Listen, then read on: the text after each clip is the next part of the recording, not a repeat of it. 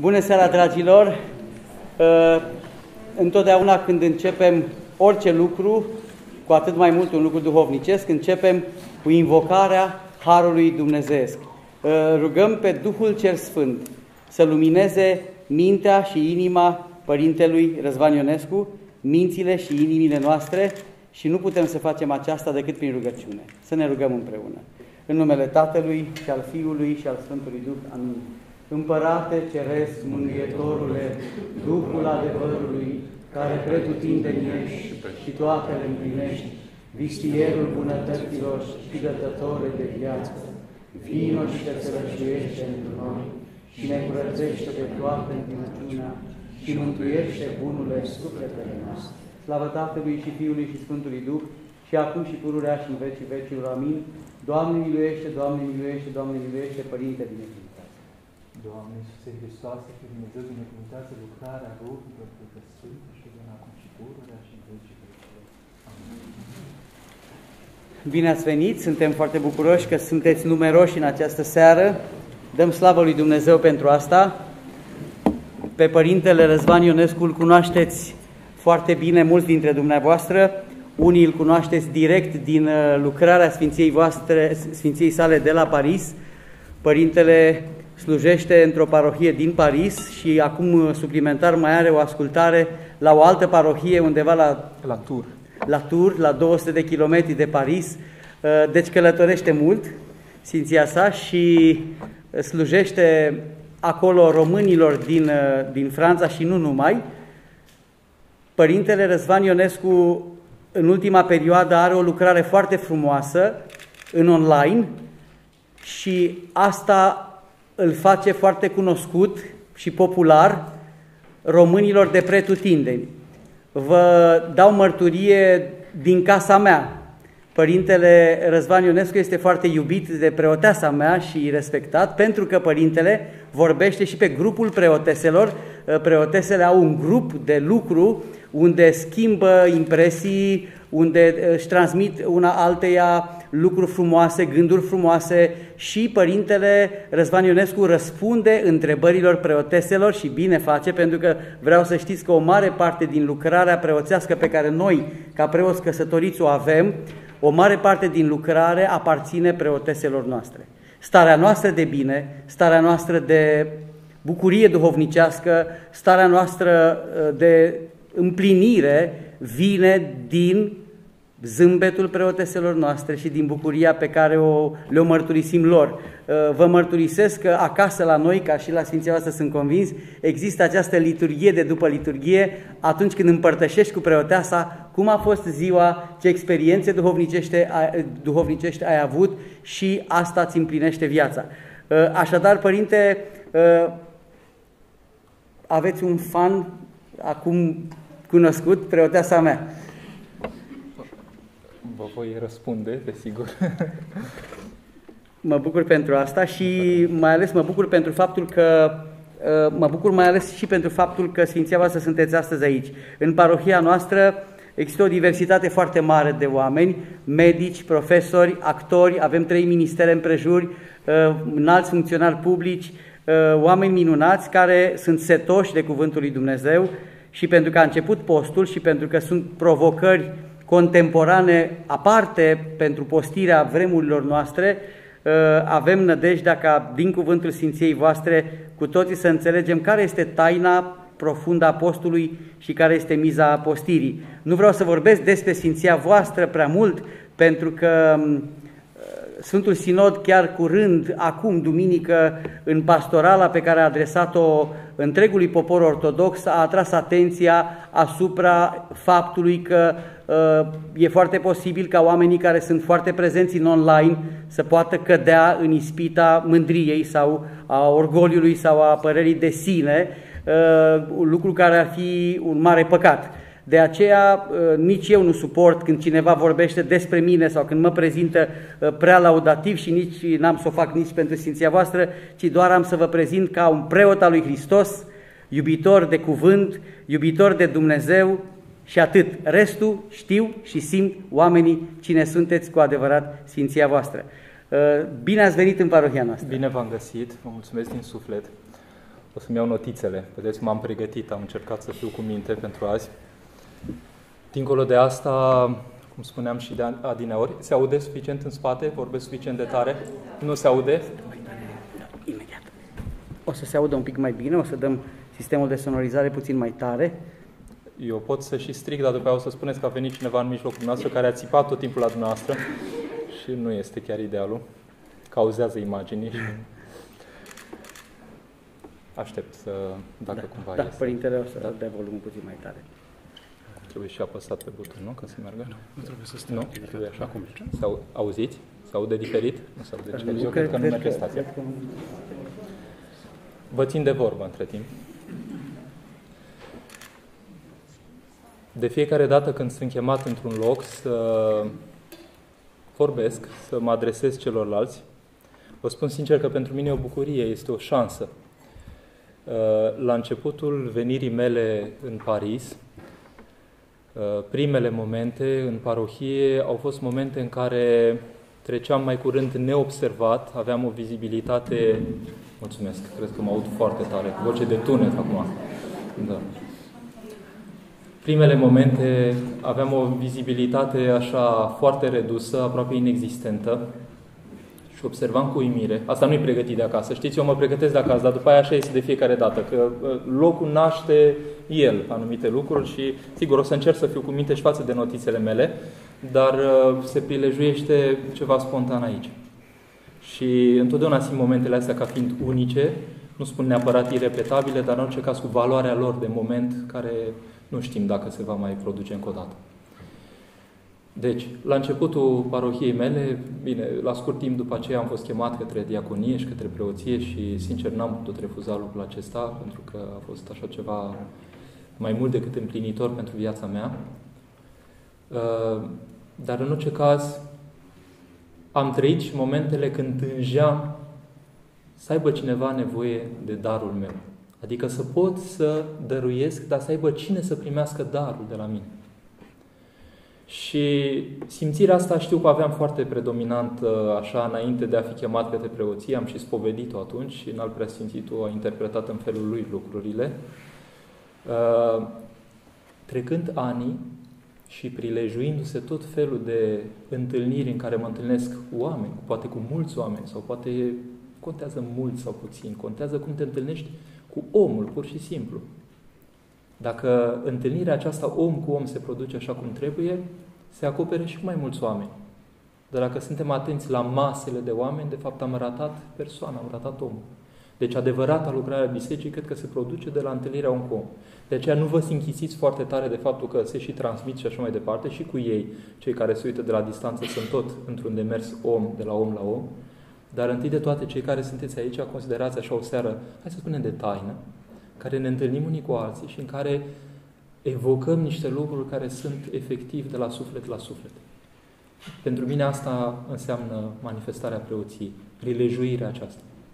Revenind, simțeam dorul acesta să pot împărtăși altora. Deci în clipa când sunt mai mulți oameni, cum sunteți dumneavoastră, care v-ați deplasat în seara aceasta să mă ascultați, de fapt v-ați deplasat pentru Domnul până la urmă, este că prin, în virtutea preoției pe care o port, Dumnezeu rânduiește să vă pot oferi ceva. Și eu am o participare aici. Nu o neglijez pentru că nu sunt ipocrit, să nu știu că trebuie să treacă prin oameni concreți lucrul acesta.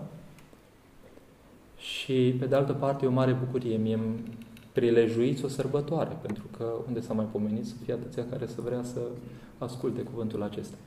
În privința riscurilor pe care le-a evocat Părintele, sunt de actualitate. Se poate întâmpla să ne întâlnim în seara asta, să mă bucur nespus pentru toate lucrurile care se petrec și să rămân zero în planul mângâierii din partea lui Dumnezeu, pentru că mi-am luat plata aici și acum prin slava care se poate provoca din anumite lucruri. Dar eu știu că, de la mine, de la biserică, nicio predică nu o fac singur. Simțirea oamenilor, prezența lor, anumiți oameni și nu alții, declanșează în mine ceva anume care devine unic pentru momentul respectiv, pentru locul respectiv, pentru oamenii respectiv. Deci dumneavoastră în seara aceasta contribuiți decisiv la ceea ce voi spune eu. Chiar dacă am pregătit mici lucruri care sunt pregătite cum? Asta nu credeți că am stat acasă foarte mult să-mi... Câteodată merg, alerg uh, prin Paris, fac tot felul de lucruri, mai am și alte uh, meserii și am telefonul cu mine și la un moment dat îmi vine o idee și scriu, fac cu tare, uh, apuc la timp să mă dau jos din autobuz, câteodată risc să și ratez, dar apuc să scriu câteva idei și după aceea le adun cândva pe îndelete și de acolo pleacă întâlnirea mea cu cei pe care îi voi întâlni. Deci cumva pronia lui Dumnezeu face că pregătirea aceea este și ea cumva prin ceea ce îngăduie Dumnezeu să vină ca idei, ca simțire. Mi-a picat în mână o carte, să știți că îi fac reclamă pentru că părintele respectiv m-a ținut tot așa de pe Facebook, ne-am intersectat de la distanță și a ținut să mă vadă la Paris. Și l-am invitat la mine să ne întâlnim. Uh, doamna preoteasă, apropo de preotese, ca să vedeți uh, prezența preoteselor, intensă. Ea este gestionarul acestui volum și uh, moment de reclamă, da? moment de reclamă, ghid de călătorie cu Hristos în postul, prin postul mare. Da? Uh, l-au scris, deci l-a scris doamna preoteasă Natalia Corlean, ei sunt din Făgăraș, e un părinte protopop acolo, uh, Marius, și mi-a picat cartea asta în mână. Nici nu știam. Mi-a picat din bibliotecă. Am o bibliotecă mare. Uh, pe vremuri m-aș fi lăudat cu ea, acum m-am mai liniștit. Pentru că validarea mea nu vine numai, adică nu vine din numărul de lecturi, așa. Uh, pur și simplu m-am liniștit în sensul că mă bucur că e mare, dar mi-am dat seama că nu prea am timp să citesc ce e acolo. Însă, uitându-mă prin bibliotecă, ce aș putea să... Așa și îmi pică cartea asta în mână. Ghide călătorie cu Hristos în postul mare. Nici nu știam, nu mai, nici nu mai știam că mi-au dat-o, mi-au dat-o de curând, dar nici nu mai știam ce e Îmi pică și vă spun sincer, o să vă lecturez mici fragmente la un moment dat, să veți vedea cum poate să scrie doamna preoteasă. Mi se pare extraordinar de valabil discursul ei și o călătorie pentru toate zilele postului mare. Repet, până la urmă nu e o reclamă, eu glumesc, așa glumesc serios, în sensul că e și nu e. Adică uh, e foarte bine să vă pice în mână, este extraordinar ce a putut să scrie, dar dincolo de faptul că a scris, e că a adunat la un loc mai multe mărturii și din părinți și din oameni contemporani, astfel încât să poată să dea celor de azi un dosar reactualizat al abordării postului. Lucrul ăsta mi s-a părut fascinant. De ce? Pentru că felul în care pune problema este foarte de actualitate, mi-a fost foarte drag cuvântul ei și deopotrivă încearcă să găsească lucrurile care sunt de miză și atunci ajungem la titlul de aici. Dar până să ajungem la doamna uh, preoteasă, vă spicuiesc eu câteva idei, da? așa care mi s-au părut mie importante, unele din avion, altele din, uh, din diversele locuri, uh, drumul până aici. Când, dacă simțiți că depășesc timpul, dați un ghiont, nu până e o problemă. 12 noapte aveți timp. E perfect, să știți că voi profita până la o oră un pic mai devreme, nu chiar până la 12, dar pentru stăruitori mai vedem. Uh, nu vin deloc de pe poziția omului care are o experiență atât de fascinantă încât poate să învețe pe ceilalți și vin cu o mărturie de viață. Deci nu luați lucrurile ca și cum a venit un specialist, pentru că m-am gândit cu multă atenție între timp și mi-am dat seama cam cum sunt eu față de post uh, și am îndrăznit să continui, dar îmi dau seama că uh, a înțelege postul înseamnă a-l pătrunde cu timpul. Adică una era înțelegerea mea când a fost imediat după convertirea mea, să știți că nu dintotdeauna am trăit viața creștină, cam pe la 20 de ani m-am convertit, am mai trecut ani buni de atunci. Uh, am încercat să înțeleg, adică să trăiesc, de fapt, trăind să înțeleg și înțelegând să trăiesc. Sigur că acum, după aproape 20, cam 20 de ani de preoție, sigur că încep cumva să dezmeticez lucrurile, să le simt. Da, apropo, că tot mă provocați, există un uh, un uh, pictor japonez, Hokusai, nu știu dacă ați dat de el. El, pe la vreo 70 și ceva de ani, spunea, uh, era foarte pasionat de linii și de, de viul care se exprimă prin trăsăturile lui de condei. Uh, e un om care a făcut multe stampe din acestea, nu știu cum se traduce exact în română, imagini, să spunem, și estima el pe la 70 ceva de ani, spunea că va începe să simtă lucrurile, pe la 80 ceva de ani nu știu ce se va petrece, spunea dacă ajung pe la vreo 100 și ceva, n-a ajuns. Spunea, când voi trasa o linie, aceea va fi vie. Lucrul acesta ne vorbește foarte mult în zona noastră creștină, pentru că veți întâlni un părinte, cine știe pe unde, că e într-o mănăstire sau undeva, care vă va spune după o viață de experiență, un cuvânt simplu, câteva cuvinte, și vă ilustrează dintr-o dată, simțiți că așa e și e totul. Vine unul, vă ține două ore de vorbă și sper că nu spune așa, ci că dacă nu-i convingi, măcar amețește. Uh, s-ar putea să, sigur, să mergem în întâmpinarea ceea ce am vrut să vă spun miza postului, dar nu știu cât reușim, însă vom încerca. În orice caz, viața bisericii e o viață de continuă pătrundere și aprofundare a lucrurilor. Deci primul lucru pe care vreau să vi-l spun, nu știu la cât am început, dar în orice caz uh, încă suntem în timp, întâi de toate postul e o experiență personală. Cu asta vreau să încep. Adică eu postesc. Biserica postește, cu tare postește, oamenii postește și așa mai departe. Da, dar întâi de toate este un eu. Pe mine mă implică. Când iubești, ești tu personal implicat, față către față, către persoana iubită. Nu te poți ocoli, nu poți nici ocoli. În monarhie spunea uh, în al preasfințitul Iosif că omul întreg devine o față, fața lui. Vedeți, îmbrăcămintea, restul cam îl acoperă. Rămâne fața, dar fața este expresivă pentru întregul. Cumva, prin viața bisericii, începem, mai ales în post, în șlefuirea aceasta prin post. Cumva, bine, la preoții mai simplu, că ei sunt oricum îmbrăcați așa în negru, dar cumva începem să uităm un pic de ansamblul general, pentru că totul este canalizat spre întâlnire față către față cu cel pe care îl întâlnim în clipa când ducem această postire. Și acum ajung la punctul 2. Și la punctul 1, hai să completez, aș spune că să nu ne îngrijorăm de calitatea experienței noastre, dar să ne apucăm să o facem. Problema nu este nereușita noastră sau slăbiciunea noastră, ci faptul că nu ne angajăm, până la urmă, că suntem așa șovăitori. Și vom constata un lucru. Apropo de viața de căsătorie, dar o legăm și de post, după zbateri pe care le-am simțit în propria mea familie, de așezare a vieții noastre, să știți că soția mea este cel mai mare critic al meu, nu știu cum e la dumneavoastră. Și, și la mine la fel. Perfect, de atunci înseamnă că începem să intuim lucruri uh, comune. comune. Pentru că cel care iubește cel mai mult poate să fie și cel mai critic. Pentru că poți primi până la uh, Dar viața de familie mi se pare tot mai mult ca mersul pe marea lui Petru. Adică nu e o chestiune de notat voinicește către Dumnezeu, că nu prea ține cu notatul ăsta. Ne scufundăm valurile de așa manieră că ne surprind, vin chestii ui, uimitoare peste noi. Și la un moment dat, de fapt, nu i-am cerut lui Hristos, poruncește să vin la tine. Mână de mână cu ea. Și cu copiii.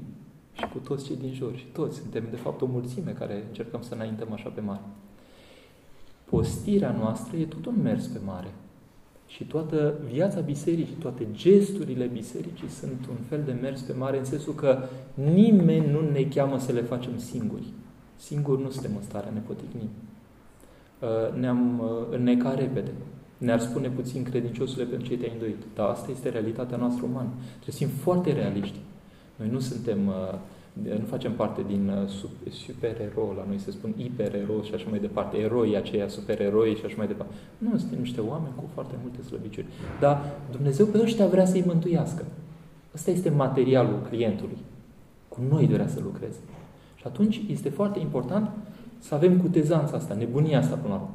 Vreau să te câștig. Poruncește-mi să vin la tine. Nu o fac singur. Și începem. Ce pe postul? Ce înseamnă post? De toate să-ți aerisești un pic mâncarea. Eu am constatat după prima săptămână de post, să știți că după o anumită vârstă, alții poate să mai cu experiență, alții mai puțin, după o anumită vârstă am constatat că chiar dacă îți diminuezi așa, parcă tot ai mâncat zdravă. Adică e uimitor cât de, cât de bine mâncăm până la urmă. La nivel de câteva zile nu se simte mare diferență până la urmă, chiar dacă n-ai mai excelat ca înainte, să spunem așa cu multă mâncare. E uimitor. E, postul ăsta, pe care foarte multă lume îl percepe ca fiind ceva ce nu am voie să în perioada cu tare, este de fapt ca la matematică, negarea negației.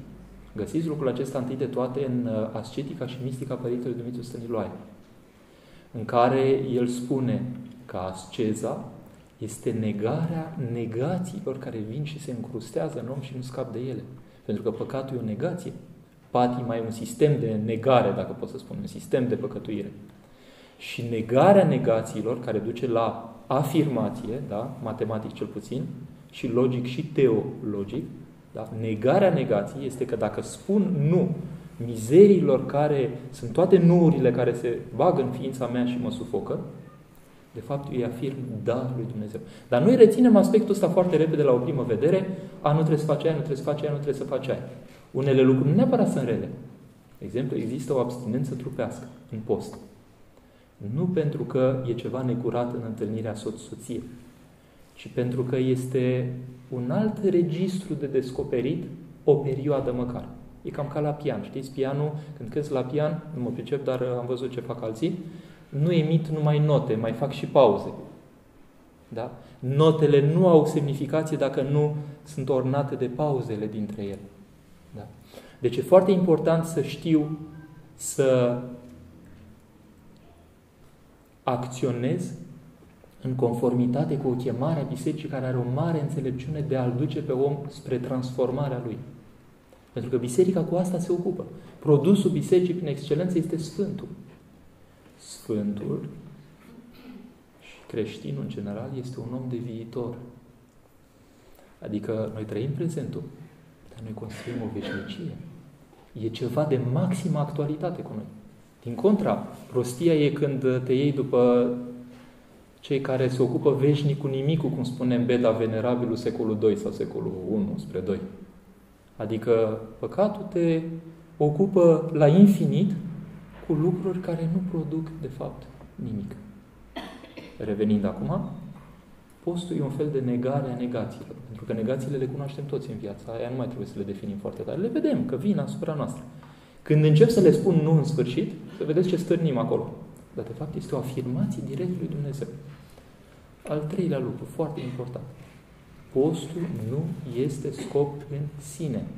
Este un mijloc, o unealtă de zutii, spunem noi. Da? Deci unealtă, mijloc, prin care reușesc ceva. Deci dacă cineva crede că își încordează mușchii duhovnicești postind, de exemplu, ține o zi, două, strânge din dinți și după aia spune, wow, am dat lovitura, am reușit, zilele astea, e bine, am bifat. Nu, nu asta este postul. Nu, cel puțin nu asta învață biserica. Nu e regim alimentar. Și eu sunt foarte tentat acum să postez, că mai las un pic din burtă. Sunt foarte... Mă atrage chestia, adică mă atrage, un mod de a spune. Mă atrage când mă pun pe treabă. În rest nu mă atrage, din contra, mă atrage cealaltă parte. Să mănânc bine. O, ați invitat, când invitați pe un om care e foarte postitor, discursul poate va fi diferit. Uh, eu sunt un om care încearcă să facă niște lucruri și își vede deopotrivă neputințele. Măcar o parte, eu cred că, uh, cum să spun, dar până la urmă sunt realist. Le întâmpinăm. Asta este realitatea umană, general pe care o cunosc și de la spovedanie. Și atunci hai să fim foarte realiști și să recunoaștem. Da, domnule, suntem așa, nu suntem, noi nu suntem dintr-un material foarte special. Noi suntem oameni normali de care Dumnezeu vrea să se bucure la o asemenea măsură încât să semănăm cu El. La capătul vieții să fim cât mai asemănători cu El. Ăsta este și scopul în ultimă instanță a postului și miza lui până la urmă. Cum să ne umplem cu Hristos? Și am primit odată într-un post, am, și noi invităm oameni, cineva de la mănăstire ne-a zis un cuvânt uimitor, a spus, Dumne, până la urmă și diavolul, dar nici nu are nevoie până la urmă de mâncare. O duce, nu are nicio problemă cu postul ăsta. De ce oare îl înspăimântă pe el atât de tare faptul că ținem noi niște zile așa de nemâncare? Miza e în altă parte. Și mi-a zis o chestie care m-a lăsat cu gura căscată atunci. Mi-a zis, păi nu, nu asta îl sperie că ținem și noi câteva zile, că e uman, putem să ținem. Ci că pe măsură ce facem, avem de mersul acesta, ne umplem tot mai mult cu prezența lui Hristos. Asta îl deranjează pe el. Că simte că dintr-o dată oamenii ăia care până la urmă nu erau foarte atenți și foarte îngrijiți de viața lor, totuși își oferă niște perioade în care începe să fie ceva care îi scapă și le liniștește pe cel rău. Și îi scapă cumva printre degete.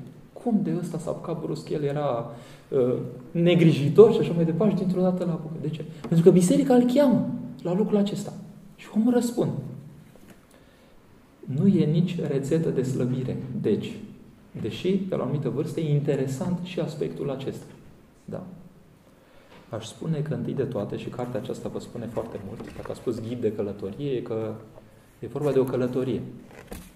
Dacă vreți să vă imaginați o călătorie cu obstacole, uitați-vă pe YouTube la cei care fac le parcurs, nu știu cum se spune în uh, România, să vedeți acolo ce oase frânte se întâmplă.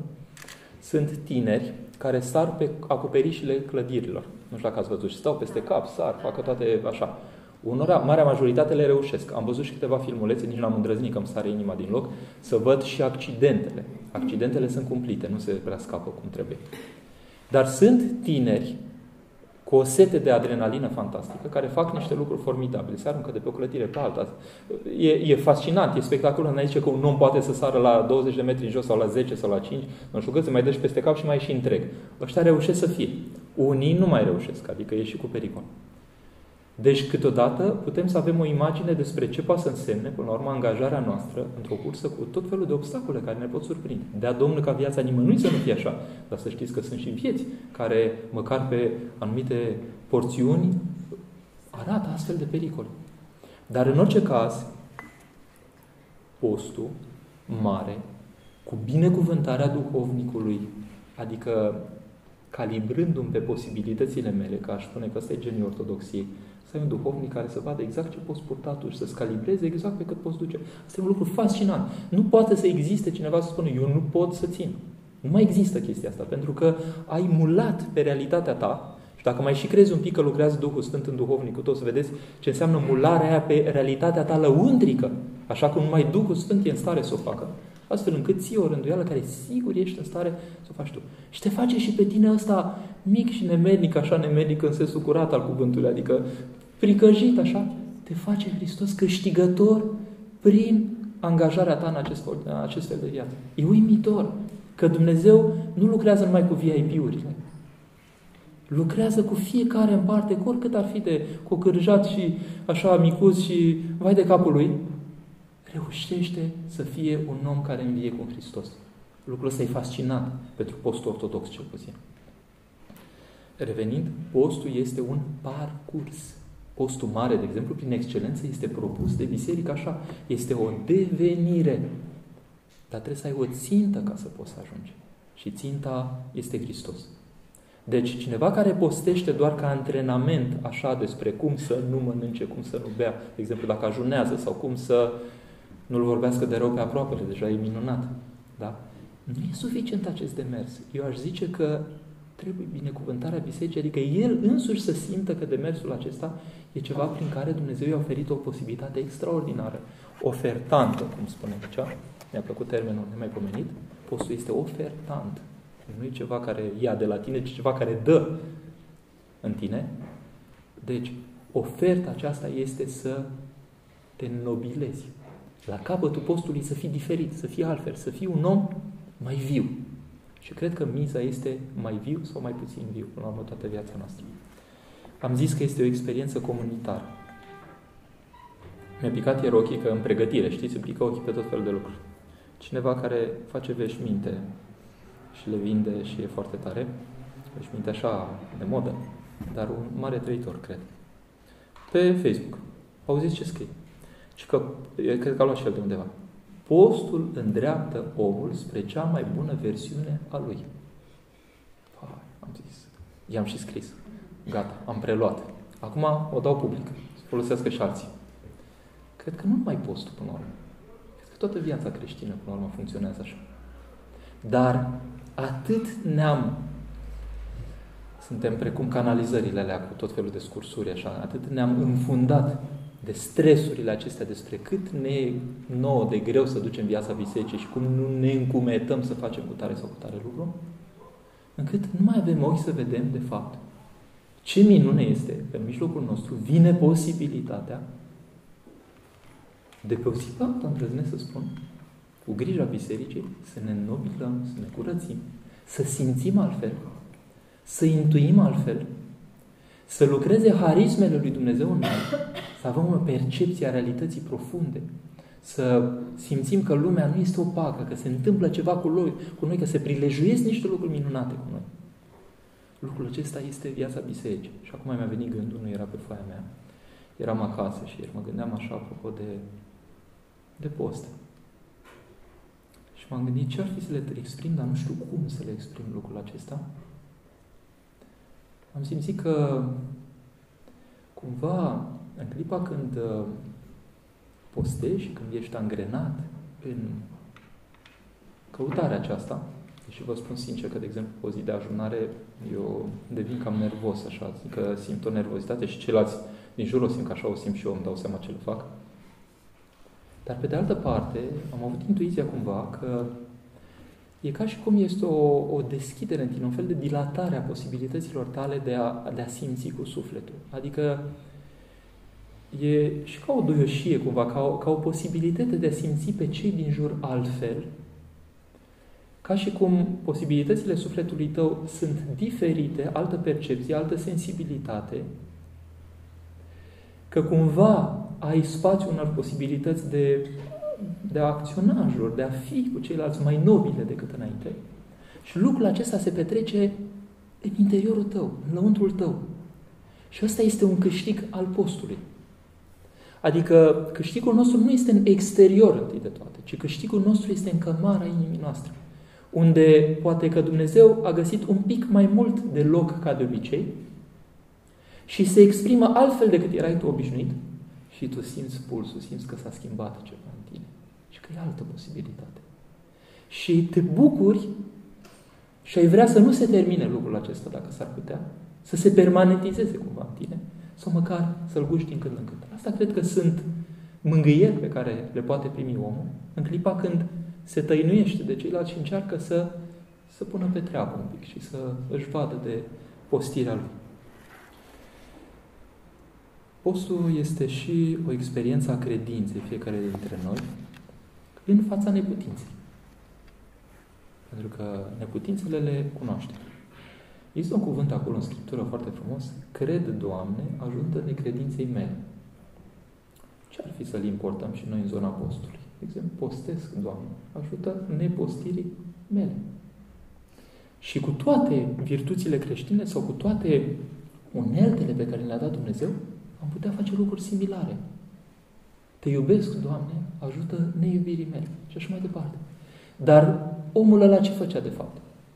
Păi Hristos i-a cerut, fă asta. Și el a început să facă. Deci, vedeți, a trecut la treabă. Și a dat seama că e jalnic. Și pe de altă parte, el era însetat după rezultatul care Mântuitorul îi promitea. Dacă faci asta, aduc vindecare. Și a spus, mă lăsa.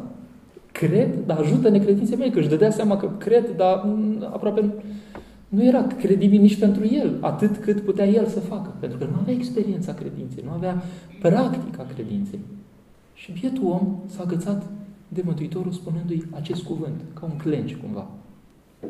Și Mântuitorul care e bun, și care vede pe fiecare copil dintre noi că el încearcă sincer, dacă încearcă sincer. Îl mângâie și el ia în brațe direct, nu stă să-i facă acolo, cum să spun, morală. morală, cum că știi, de fapt, ca la Petru când s-a întors. Ai văzut cumva Petru? Ai văzut? Am avut dreptate. Ai văzut? S-a bifat ce am spus eu? E în regulă. Mă iubești tu pe mine? Da, Doamne, Tu știi că te iubesc. Și ce i-a dat? Să ocupe de ceilalți. Expresia maximei iubirii. L-a întrebat și a doua oară. L-a întrebat și a treia oară. De ce s-a întristat Petru a treia oară? Păi știa pe Mântuitorul. Știa că știe lucruri pe care oamenii nu le dibuiesc. Și a spus, nu cumva știi mai mult decât mine ceva, Doamne ferește, și acum să se mai întâmple ceva. Asta cred eu cel puțin. S-a întristat, s-a speriat.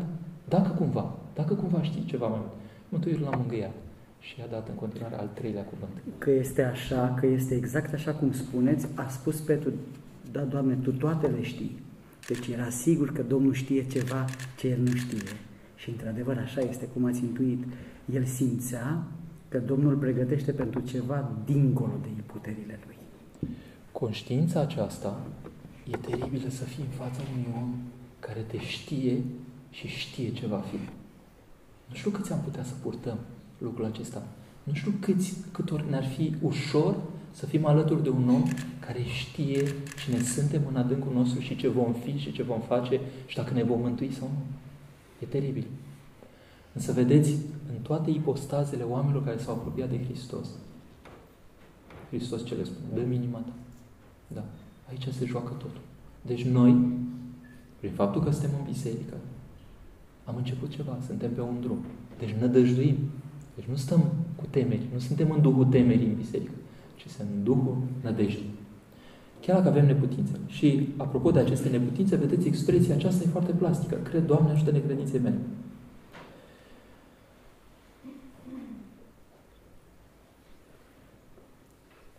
Mai e un lucru important Așa, plecând de la fizic, cum s-ar spune. Da, mi-am amintit de Părintele Arsenie Papacioc, într-adevăr, el punea foarte mult accentul, am văzut un material, când, când să mă pregătesc aici, îmi trimite un părinte din țară, tot pe Facebook. Trimite un material, imediat îmi trimite. M-am făcut ascultare, m-am apucat să-l văd, să văd ce spune. Îmi completam așa. Într-adevăr, foarte mult pune accentul pe relația între oameni în post. Uimitor de mult. E o miză pentru post. Relația unul cu altul. Revenind acum, ați văzut animalele de pradă în pădure. Vânează numai când sunt flămânde. Eu, personal, când am mâncat bine, nu mai sunt într-o stare de căutare. Paradoxal, lucrul acesta ne închide și pentru lucrurile duhovnicești. Paradoxal la prima vedere. Pentru că din cartea aceasta rezultă, dar nu numai de aici, expresia, bineînțeles, unei vieți în Hristos, foamea aceasta pe care o resimțim, dependența noastră de ceea ce ne hrănește. De fapt, ea încetul cu încetul trebuie să ne ducă la dependența noastră de Cel care ne hrănește prin excelență. Că de aia vorbim pâinea noastră de toate zile, pâinea vieții și așa mai departe. Dar când sunt bine, nu mai caut nici aici și cu atât mai puțin mă mai gândesc și eventual și ar mai fi nu știu când.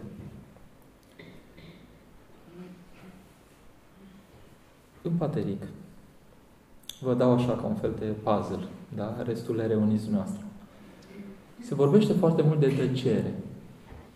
Și aș spune că tăcerea aceasta este un fel de echivalent al postului, atunci când vorbirea e un fel de, de mâncare. Poți Vă rog, vă rog. Borsec.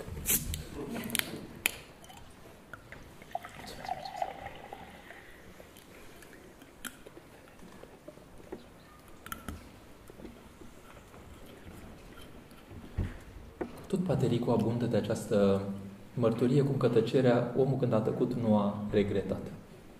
Însă există un cuvânt acolo foarte interesant, genial, așa tu cum care spune următorul lucru. Spune, nu eu fac așa. Am închis ferestrele că e puțin curent. Perfect. Spune, bine este a vorbi sau a tăcea? Și auziți ce răspunde părinte respectiv. Dacă este pentru Dumnezeu, bine este a vorbi. Și dacă este pentru Dumnezeu, bine este a tăcea. Când am citit asta, m-am dat gata. Și atunci revenim la postirea noastră. Dacă este pentru Dumnezeu, bine este a posti sau a mânca. Dacă este pentru Dumnezeu, bine este a mânca sau a posti. Da, invers. Cuvintele care ilustrează cel mai bine sunt dejunare și ajunare. Când e ajunare, nu e dejunare. Când e dejunare, nu e ajunare. Da? Vedeți? Dar cele două sunt împreună. E aceeași rădăcină. Deci postul, exact cum vă spuneam la pian cu sunetele și pauzele, cu tăcerea și cuvântul, este modalitatea noastră de a exprima ceva firesc în viața bisericii într-un alt registru decât cel al anului, să spunem, în general. Acum o să fac o mică excursie în cartea aceasta, dacă mai rezistați. Fără, nu prea sunt specialist așa în lecturi, dar vă arăt un pic cum doamna preoteasă. Și apropo de, de intervenit pe grupul acela al preotesilor, întâi de toate m-au onorat foarte mult să știți că ele m-au invitat ca moderator. E foarte onorant să fii moderator. Uh, însă câteodată n-am reușit să fiu moderator în propria mea familie și m-a depășit problematica uh, propriei mele familii, așa că sunt foarte precaut în a da sfaturi pe zona respectivă. Am avut uh, un pic câteva intervenții, atât cât a putut ieși și din bucuria și din durerea mea, din experiența avută și spovedind la rândul meu cupluri preot, preoteasă. Um, foarte mult ne ajută experiența celorlalți și preotesele sunt foarte prezente în viața noastră. Și uitați ce scrie această preoteasă și cum scrie. Apropo de partea a doua cumva a intervenției, adică cu societatea contemporană. Spațiul cultural modern exploatează la maxim simțurile și împinge către o trăire exterioară bazată în cea mai mare parte pe plăcere și confort. Și spune, avem nevoie de o detoxifiere spirituală. Da? Deci un răspuns la starea de lucruri. Să știți că în viața bisericii nu există teologie alta decât răspuns la nevoile omului. Când facem teologie de dragul de a face teologie, de a dezvolta lucruri și așa mai departe, dar nu răspunde unei nevoi în planul mântuirii omului, e o teologie uh, necesară, îndrăznesc să spun. Totul trebuie să aibă relație cu cum se mântuiește omul. După aia, doamna preoteasă observă următorul lucru. Spune, da, Postumare, se spune. Vorbește foarte mult de postumare. Acum ne, accent, ne focalizăm un pic pe postumare. Am spus lucruri în general, acum aplicăm concret, seminarizăm, dacă putem să spunem așa, cu postumare. Postumare e un parcurs, da? e un drum. E un drum care este pregătit și înainte de postumare, prin duminicile dinainte, deja te pregătesc, vame și fariseu și așa mai departe, fiul risipitor, da? E un drum. Te pregătește Domnul și înainte, te angajezi pe acest drum și care e scopul drumului? Să simți cât mai deplin învierea. Deci postul nu este un exercițiu în sine. Am dus postul, am bifat evrica. Nu. Ci împlinirea este cum am primit eu învierea. E, numai că, spune doamna preoteasă, oamenii din ziua de azi nu prea au timp ei așa să vină la biserică, chiar și în postul mare, nu prea au descoperit liturgia darurilor înainte sfințite sau slujbele, denile și așa mai departe, Vin și ei duminica la liturghie și constată că, de fapt, duminica venind la liturghie în timpul postului, nu sunt niște adăugări nemaipomenite care să te facă să simți atmosfera postului. Deci ai toate șansele să cam ratezi postul mare dacă vii ca de obicei numai duminica la liturghie. Pentru că nu ai aceeași simțire a lucrurilor. Atmosfera postului, și aici insistă ea foarte mult, de fapt, postul mare nu vine numai cu o ofertă din aceasta despre ce nu faci tu ci vine cu o ofertă despre cum te integrezi într-o atmosferă care te poate ia în chip minunat, astfel încât să parcurgi ceea ce singur acasă, individualist, oricum n-ai fi fost, nici n-ai fi simțit chemare măcar să parcurgi. Și spune că, de fapt, dacă vii, continui să vii duminica la biserică, spunem că ești unul din creștini aceia, măcar de duminică, unii sunt din, post, din, din an în Paști, știți? Adică din an nou în Paști, ei vin atunci. Da? Alții vin duminica, duminică de duminică. Alții poate vin și mai des. Alții vin mai rar. Fiecare cum vine. Uh, nu vreau să vă sperii credincioși și nu este o remarcă așa răutăcioasă, dar, pe de altă parte, hai să profităm unii de alții și cuvintele care se spun să ne interpeleze. Băi, poate că dacă a venit tocmai de la Paris să spună lucrurile astea, poate că e o interpelare. Și asta. Sau poate că nu au mai suportat cei de acolo și au zis, Părinte, postul mare, mergeți liniștiți și în alte părți ca să-i mai uh, țineți și pe ei. Și mai e un lucru. Există lecturi. Există lucruri care se spun în biserică, care doamna preoteasă spune așa. Ideea este că ele trebuie să fie luate acasă. A pus ghilimele, luate. Mie mi-a plăcut chestia asta, nu mai pune. Și au zis cum continuă. Pentru a medita asupra lor în lumina vieții mele, a situației mele familiale, a obligațiilor mele profesionale, a preocupărilor mele pentru lucrurile materiale, a relației mele cu semenii lângă care trăiesc. Mele este uh, înclinat, da? aici. Adică actualizarea lor pentru viața mea. Altfel trec pe lângă ele și ele pe lângă mine. Doamne și stăpânul vieții mele. Super, mulțumesc. Deci, postul e o șansă de schimbare și de înnoire și de adâncire. Există după aceea o vecerne a iertării. Și spune ea, e o tragedie că nu se mai face în parohiile noastre. Să vedeți ce s-a întâmplat la mine în parohie. Noi făceam înainte, o făceam așa, eram foarte... Și anul trecut, sau nu știu când, am făcut numai îmbrățișarea de la sfârșit, așa, după liturghie, am zis că e mai greu, că nu știu ce. O credincioasă, am câteva credincioase strașnice la noi, care nu mă lasă să respir dacă cumva respir cum nu trebuie. A zis, părinte, nu se poate. Nu se poate să trecem pe lângă ea. Nu-mi picaseră încă cu tragedia de aici, știți, că atunci aș fi luat. Spune, părinte, trebuie neapărat să facem vecene iertări. Da, zic eu, dar e mai mult pe tradiția așa rusă, cumva, pentru că eu am făcut-o prima dată într-o mănăstire de maici uh, uh, ruși, care m-a trimis în alt atunci, uh, pe vremuri, nu mai intru în amănunte, și am făcut-o atunci și sigur că a fost pentru comunitatea monahală extraordinar. Dar de fapt nu e pentru comunitatea monahală, e pentru toată lumea. E vecenia aceasta iertării ne resetează relațiile unii cu alții. De altfel, fac o paranteză. Ați văzut, sunt specialist în paranteze la paranteze la paranteze. Da? Dar nu uiți să le închid la sfârșit. Dacă cumva n-am închis ceva la sfârșit, închideți noastră așa uh, toate parantezele și ajungem la punct. Uh, Am uitat paranteza. Cu doamna care v-a spus că trebuie neapărat să faceți vecernie. Da, asta era paranteza, după aia pregăteam altă paranteză la ea. Că ați fost la Pe doamna n-am lăsat-o în paranteză, am, am făcut vecernie așa cum trebuie, o să-mi amintesc, o să, o să vin. Uh, da, la ruși am făcut-o prima dată, dar uh, sigur după aceea am făcut-o în parohie. E foarte importantă resetarea, așa, mi-am amintit ideea. Uh, resetarea aceasta ar trebui să producă la fiecare liturghie. Pentru că noi avem o sărutare a păcii, care la noi a devenit numai că preotul, adică preoții în altar ați văzut că se îmbrățișează. Nu, și da, noi, faceți și noi. Super, da. ați văzut? Da. E mult mai bine. Să veniți odată la liturghie la Dar vă mai pun o întrebare adiacentă. Vă mai schimbați locurile în biserică de la o liturghie la alta? Că e important lucrul acesta. Nu, eu nu știu asta că sunt în Sfântul Altar. Da sau nu? Ca să vă spun un secret. Dacă aveți scaune în alea cu aici odihnește nu, sau aici nu, așa, a terminat.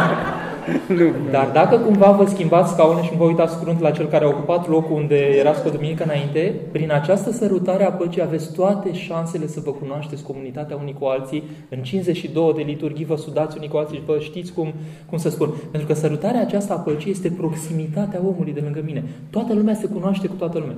Eu vă spun, noi suferim la noi. Eu ies în fața lor și le spun Hristos în mijlocul nostru, toți îmi răspund, este și va fi. Acum am introdus și în altar copiii de bea așteaptă, se îmbrățișează așa, pentru ei un pic, și un pic hilar, așa un pic, nu-și dau seama prea bine ce se întâmplă, dar pentru că sunt copii, copii mai mari și unii mai mici. Ăla mai mare care îmbrățișează pe la mai mic, e o ghemuire întreagă acolo. În orice caz, am început să experimentăm, dar în biserică, într-adevăr, nu, nu am făcut. Însă ăsta era firescu, prin care oamenii, nu mai că își dădeau pacea, dar se, la modul foarte concret, comunitatea se, se întâlneau unii cu alții în această îmbrățișare. Și atunci e grozav dacă nu vă suportați unii pe alții, se poate întâmpla, să știți, așa, să vă plasați ca din întâmplare în proximitatea celui care nu vă suportă și vrând nevrând, treziți în brațele lui. Hai, vină! Bun. E, vă garantez că și experiența aceasta îmbrățișării cu cineva care nu ține foarte tare la tine, dar atenție, vedeți că în viața bisericii apar ispite. Nu că nu ține foarte tare la tine, ci că în șlefuirea aceasta absolut necesară din viața bisericii, ai apucat să-l calci pe nu știu ce, Uh, nu zic coadă, uh, să-l calci așa la un moment dat, cum erai tu în biserică și lui nu i-a convenit nu știu ce și te ține minte vreun an, 2, 3, 5 sau nu-ți vorbește, când de fapt omul a uitat scopul pentru care e acolo. Că aici suntem ca să ne ajutăm unii pe alții să devenim. E, sărutarea asta păcii este esențială. Și este esențială de la liturghie la liturghie și nu numai la vecernia aceasta. Da, să spunem că măcar vecernia aceasta e o răsătare așa zdravănă a relațiilor dintre oameni. După aceea, foamea, vorbește despre foame, așa cu termin cu doamna preoteasă.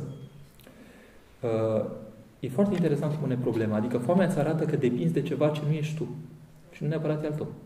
Ai o dependență. Să știți că calea către smerenie, să-ți dai seama că nu ești suficient ție. Că depinzi de altcineva. Asta este cheie, una din cheile vieții duhovnicești. Oricât de mare ar fi Sfântul care ar fi nu știu care, el a depins, măcar de Părintele Lui în Hristos, da? Vreau să spun că el făcea ascultare, poate am fi uimit să vedem de cine făceau ascultare Sfinții, de câtă lume făceau ascultare Sfinții. E chiar cunoscut cu Sfântul Antonie și cu un copilaș care l-a învățat cum să facă nu știu ce, să împletească nu știu ce. Disponibilitatea către ascultare. Asta este viața Sfântului.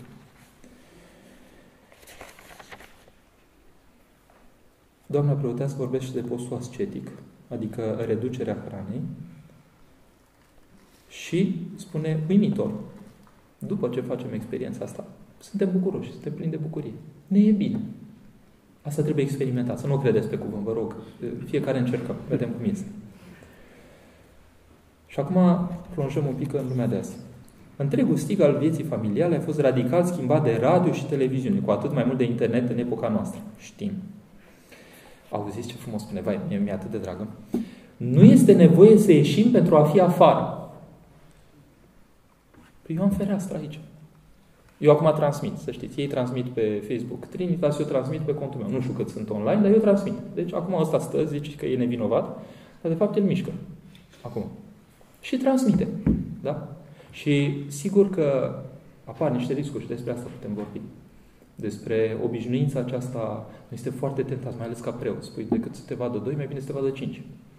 Sau 10, sau 50, sau, sau 5.000. Sau 5.000. Sau nu știu cât, la mine nu e cazul. Eu sunt pe scoruri uh, liniștite. Dar, de fapt, miza este...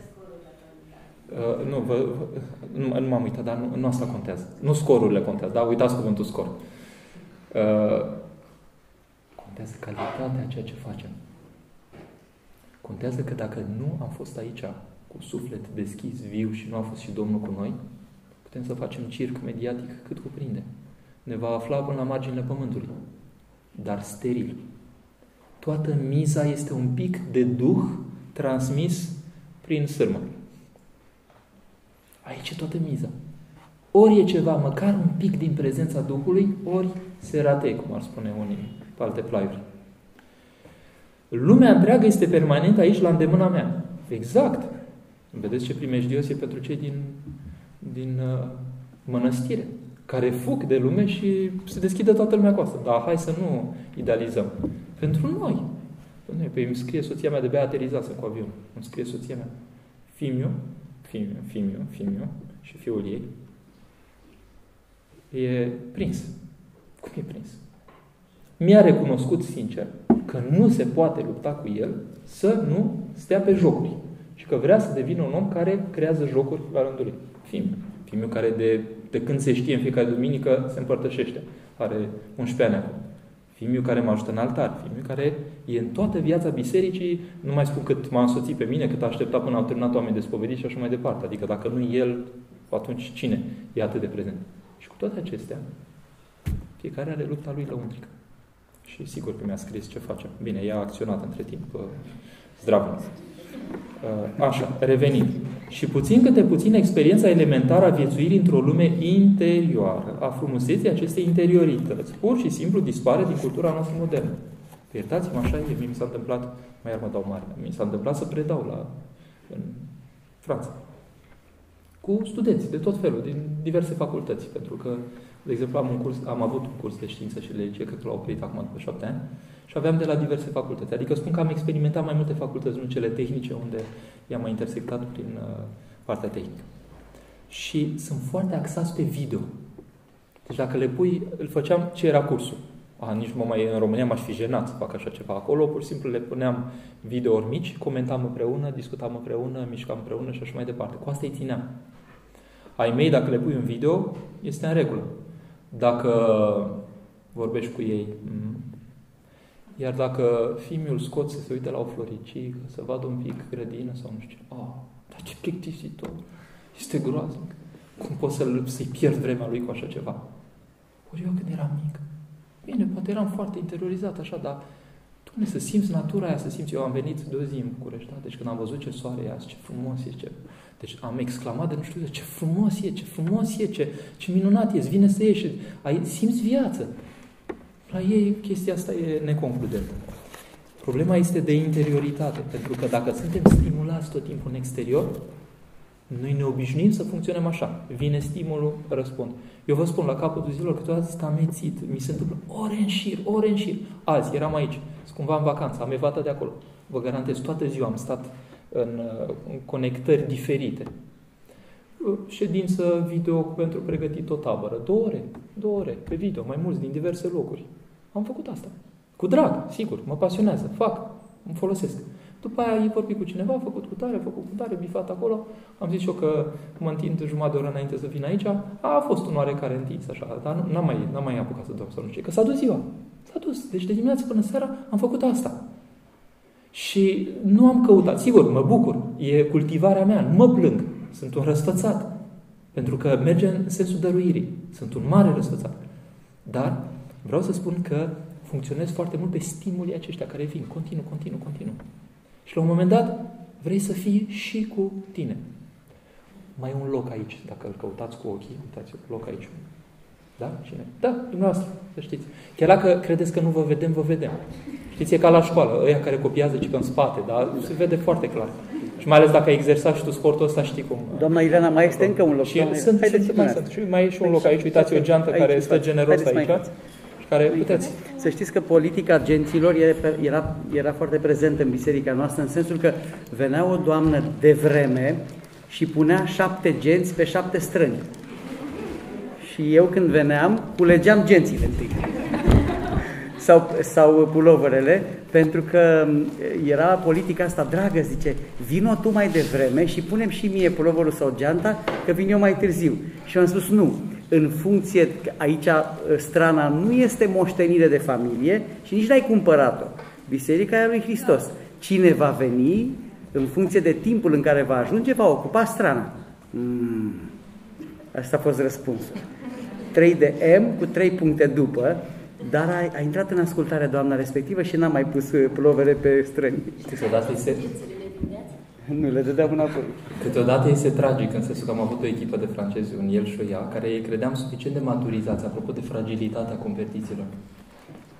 Și odată ne-am făcut-o cu tot, ocupau cu bucurie un, un post, era să spun, un loc în față. Și bine, a fost o nevoie, a fost cineva care... și am pus pe locul lor. În momentul respectiv mi-au ieșit din biserică, i-am pierdut din parohie. Ne-am mai intersectat așa mai de la distanță, acum ne iertat, sunt undeva prin, mai departe, nu dau nume ca să nu așa. Uh, dar vreau să spun că câteodată oamenii care descoperă ortodoxia sunt atât de fragili.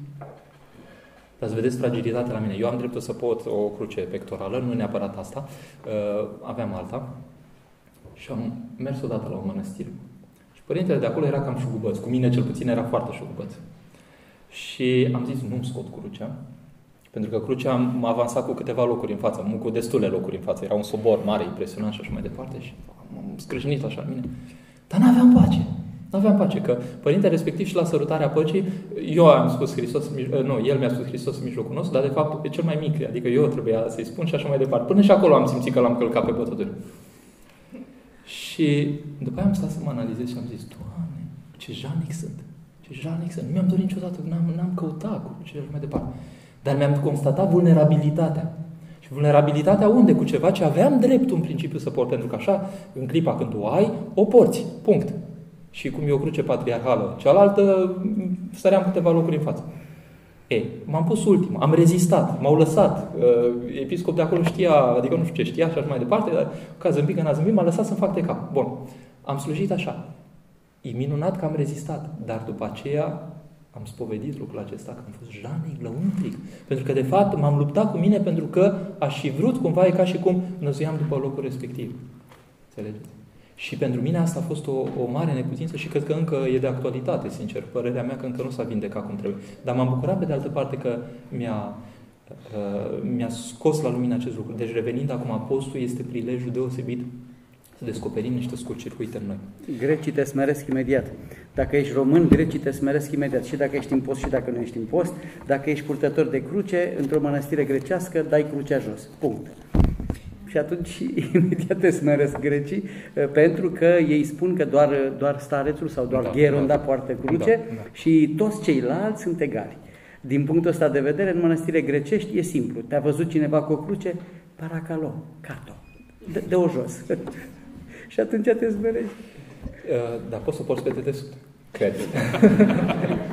nu, în sensul că nu spun lucrul acesta ca să-l trișezi, ci pentru că binecuvântarea o ai, dar poți tu, știind sistemul grecesc, să nu ieși în față cu lucrul respectiv, ci pur și simplu să, să-ți știi locul în contextul respectiv. Exact. Eu acum, pe asta am primit-o de la greci. Deci, uh, să spun, nu intru în amănunte, e, e un uh, dar foarte prețios pentru mine, însă cu siguranță că nu o port, de exemplu, când merg în Grecia, adică în slujire de acolo, pentru că știu sistemul. La rușie pe dus, toată lumea aproape are, adică aproape toată lumea, aproape toți preoții. Uh, mai e un cuvânt aici foarte important și mergem spre final. Postul în sensul de tristețe strălucitoare. Uh, E foarte interesant că atmosfera aceasta a postului cumva te duce cu gândul la întristare. Vedeți iar aspectul ăsta cumva că tristarea, ceva negativ, cine vrea să se întristeze până la urmă? Toată lumea vrea să fie bucuroasă. Apropo, am avut o concurență formidabilă în seara asta. Știți că vorbește Părintele Constantin Necula? În seara asta în aloc. Îmi scrie cineva pe Facebook.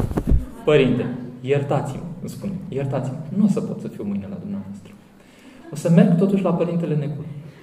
Uh, și eu spun, dar nu, nu e absolut nicio problemă. Spune, și la dumneavoastră râd bine, că aveți umor, dar la el râde și Dumnezeu. deci om, omul ăsta, vedeți, cumva căuta bucuria. Pentru că atât de tare suntem stresați deseori de mesajul bisericii care pare întristător și, și așa mai departe, vedeți, iar mentalitatea aceasta care ne-a, ne-a copleșit în cele din urmă, încât ne odinește foarte mult să avem în față un om destins, un om liniștit, un om cu bucurie și așa mai departe. Încheierea. Ce e sigur este că ați înțeles care e miza postului sau nu? Dacă nu, continuă. N-ați înțeles? Suntem pe cale să înțelegem. Am oferit un cadru în care putem căuta. Dacă veneam cu un răspuns în fața dumneavoastră, ar fi fost trist. Să spun, miza este cu tare. Dacă vreți, într-un cuvânt, se poate spune miza. Umplerea cu Hristos. Nici mai mult, nici mai puțin. Pentru că ei le ținta drumului. Dar, revenit, societatea contemporană, așa cum e ea, făcută din noi, dacă să nu zicem că ceilalți, din noi, este orientată foarte mult spre exterior. Știința foarte mult merge spre exterior. Toate obiectele cunoașterii sunt spre exterior. Deci ne firesc în astfel de cultură să ne orientăm către exterior.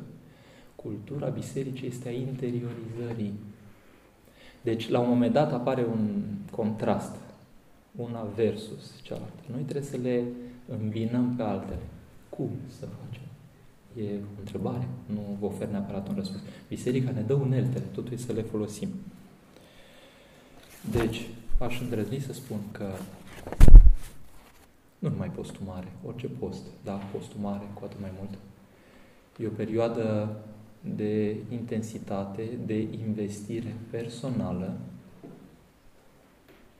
pentru ca, parcurgând un, trup, un uh, drum, împreună cu ceilalți, să fim un trup împreună cu ceilalți, cât mai de plin cu putință, dacă eu nu postesc în postul mare, mă rup cumva de comuniunea cu biserica întreagă care postește. Postul nu e o chestiune individualistă, nici măcar individuală, dacă vrem să ne jucăm cuvintele. Adică avem relație mai tare unii cu alții în clipa când fiecare ne angajăm pe drumul ăsta, pentru că suntem împreună, o împreună pătimire, dacă putem să spunem, în Hristos. Și lucrul ăsta se simte. Ca într-o bibliotecă. Te duci într-o bibliotecă, toți gândesc acolo. Sigur că îți vine și ție să gândești. Te duci într-o biserică, dacă toți se roagă, sigur că îți vine și ție să te rogi. Dacă toți postesc, sigur că îți vine și ție să postești. De-aia ne e simplu, la un moment dat. Cu anumite lucruri ne e simplu. Nu îți vine să crezi, uite, domnule, am reușit și eu. E, dar miza, la capăt, este că după ce parcurgem drumul acesta, care sfârșește undeva de florit, după aceea începe săptămâna pătimirilor, da? alt registru, iar după aceea vine învierea, măcar nu o să faceți parte, și cu asta chiar am încheiat, din cei care vin la spovedanie și spun, Părinte, nu știu, m-am făcut, am ratat și postul ăsta, am trecut cam pe lângă el, nu prea am simțit nimica și acum vreau să mă bucur și eu, bucuria pascală, dar nu sunt în starea să. Și spun, prinde cât mai poți. Treci la ce se mai, tot ce mai prinzi din slujbe. Pune-te și închip minunat și cei după Sfântul Ioan Gură de Aur, închip minunat, și cei din ceasul al la 11 virgulă 59, 59, așa, dacă totuși ai prins un pic, Dumnezeu, mângâietor, te cuprinde în taina aceasta și, și ești cu El. Și asta e toată recompensa. Odată ce am simțit real ce înseamnă să fii cu Dumnezeu, eu nu am nimic, niciun cuvânt adăugat aici, că e totul. Da. Punct. Vreau să știți că Sfântul Nicolae Velimirovici, pe care astăzi îl prăsnuim, Marele Sfânt Sârb, o minte luminată, uh, un, un patriot și un uh, trăitor extraordinar, a spus despre postul cel mare că în mod special în acest post Iisus vrea inima ta.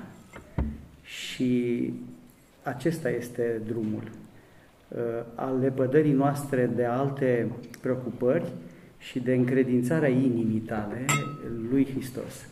Uh, Hristos îți spune, dă inima ta în acest post. Și răspunsul va fi la final, în noaptea de înviere. Toți avem o emoție la 12 fără 10, noaptea de înviere, când ne-am pregătit și suntem în fața unei biserici, cu lumânarea stinsă în mână.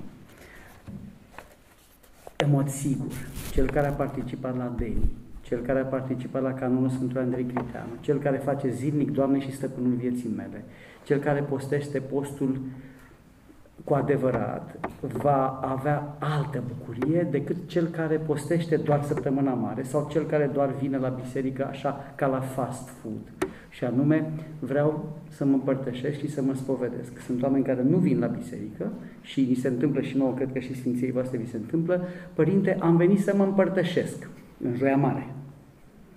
Ă, știți, post a ținut? Nu. La biserică veniți? Nu. Ă, dar am venit să mă împărtășesc. Dar știți că ar trebui să vă spovediți înainte. Bine, bine, ce pot face, dar eu vreau să mă împărtășesc. Este foarte trist că sunt și oameni de tipul acesta. Uh, așa cum spune Domnul, în casa tatălui meu multe locașuri sunt, deci bucuria este diferită. Uh, așa și cu fiecare dintre noi.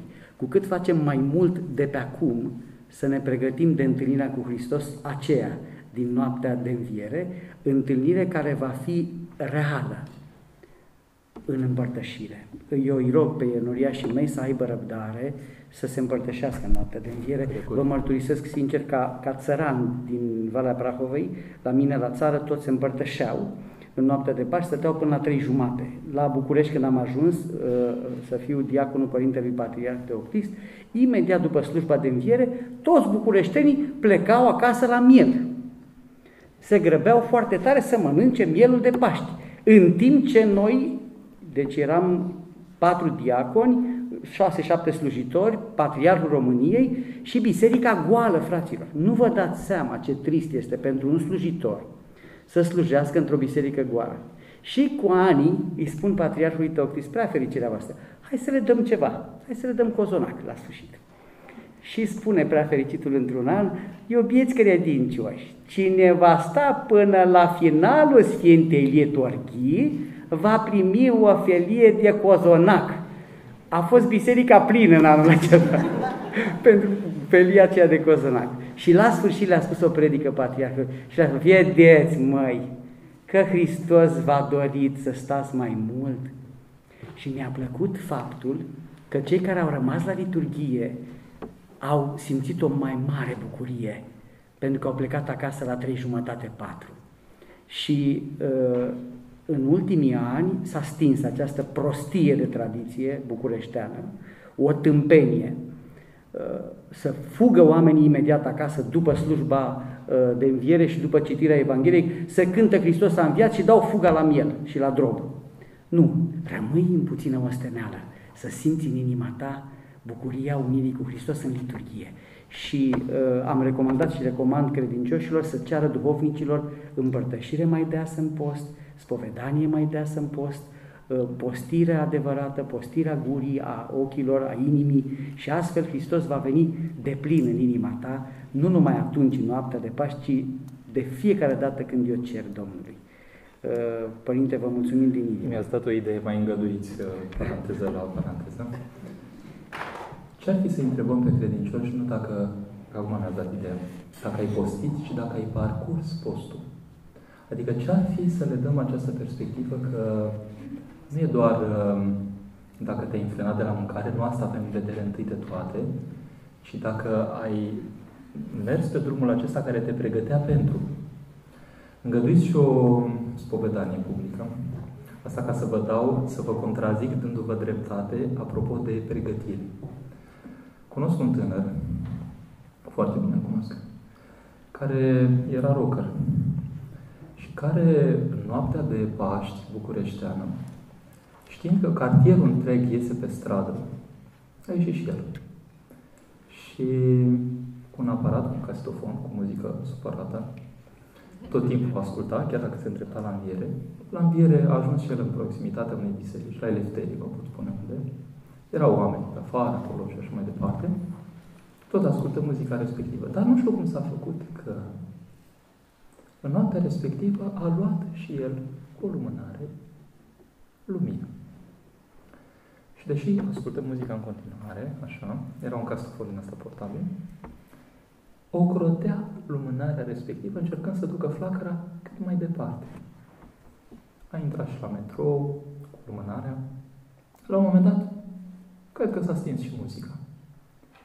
Simțirea inimii lui a fost poate de prima sărbătoare pascală, pofida lipsei de pregătire, cred că atunci a început Paștile altfel pentru viața lui. Îl cunosc bine pe acela, nu mai intru în amănunte, dar în orice caz este uimitor Hristos cum știe El să aprindă lăuntru omului și când nu te aștepți și unde nu te aștepți. Așa este. Așa este. De multe ori întâlnim oameni care vin ocazional și care rămân apoi. De altfel, fiecare din cei care l-ați cunoscut pe Hristos uh, din împrejurări concrete ale vieții, uh, ați simțit uh, prezența lui Dumnezeu în inimă, fie la un necaz, fie la o decepție, fie când v-au trădat prietenii și apropiații, sau iubitul sau iubita, și întâlnirea cu Hristos a venit uneori din disperare. Sunt oameni care vin disperați, disperați. Uh, sunt oameni care nu mai văd capătul sau nu mai văd lumina, apare boala și oamenii nu sunt pregătiți pentru asta. Și noi o spunem aici des, nu sănătatea e cel mai mare dar al vieții. Cunosc oameni sănătoși care se duc așa cu viteză spre iad. Deci e limpede că nu sănătatea e cel mai important dar în viață, ci să-L ai pe Hristos cu tine, să-L ai pe Duhul Sfânt, să, să-ți dorești din toată inima ta să trăiești cu Dumnezeu, în prezența lui Dumnezeu. Și când spui împărate ceresc, să simți în inima ta că Duhul Sfânt vine în inima ta. Și această prezență harică pe care o ai îți va împlini viața atât de mult, încât orice ar veni peste tine, boala, insuccesul, lipsa banilor, bătrânețea, căruntețile, Uh, absolut orice poate să vină peste tine, nu poate să biruiască starea ta de bine că tu ești cu Dumnezeu. Și dacă ești cu Dumnezeu, nimic nu poate să distrugă pacea ta, pe care numai Domnul ți-o poate dărui. Cred că cei care îl cunosc pe Dumnezeu cu adevărat simt că drumul poate să se abată la un moment dat și uneori suntem abătuți în drumul nostru de, de societate. Însă, dacă Hristos e de plin în inima noastră, nimic nu poate să ne despartă de El. Deși periodic și permanent, poate că Dumnezeu îngăduie, nu știu, cred că Dumnezeu îngăduie ca în viața noastră să aibă loc ispite și să ne descoperim irascibili, nervoși, supărăcioși, uh, triști uneori. Uh, am avut o surpriză foarte mare tot de la fiul meu care are 10 ani, Ehm, în prima zi de post am încercat și eu să țin post negru și am făcut rugăciuni, le-am citit la psaltire și eram așa serios. Și fiul meu îi spune soției mele, mama zice, tata, ce ce cu tata? Adică s-a simțit da, că da, da. s-a întâmplat ceva.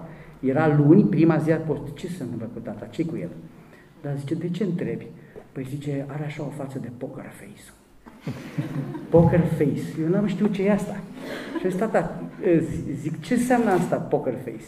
Ce aia care joacă poker așa o față, au așa o față serioasă. Și stau așa și nu, nu, nu mișcă niciun mușchi de pe față, stau așa ca, ca să nu te prinzi ce, ești prea serios. E interesant, pentru că asta înseamnă că își joacă viața acolo oamenii aia. Da, da, da. Miza e mare. exact, și atunci a zis tata, dacă ăsta e postul, dacă ești așa de serios, eu n-aș vrea să postești am înțeles atunci de la copilul meu și eu, eu tocmai predicasem duminică o zi înainte că postul e bucurie, dar o luasem prea în serios. Și fiul meu a zis, dar ce ești așa de serios? Vreau să, vreau să simt bucurie, bucuria tatălui care iubește și care e vesel. Și atunci mi-am dat seama, mă zic, bă, dar ce fac eu? Mi-am făcut rugăciunile, Uh, am ținut post negru, am citit la psaltire, a început postul mare, am luat în serios, dar de ce sunt trist? Fiul meu m-a trezit. Și m-am dus la el, m-am jucat cu el, am spus două glume, m-am bucurat și am înțeles că postul nu înseamnă să fii trist, pentru că fiul meu, ca și fiul Sfinței voastre, uh, uh, cu copiii și cu soțiile, dar nu ai cum să joci teatru. Ele se prind imediat.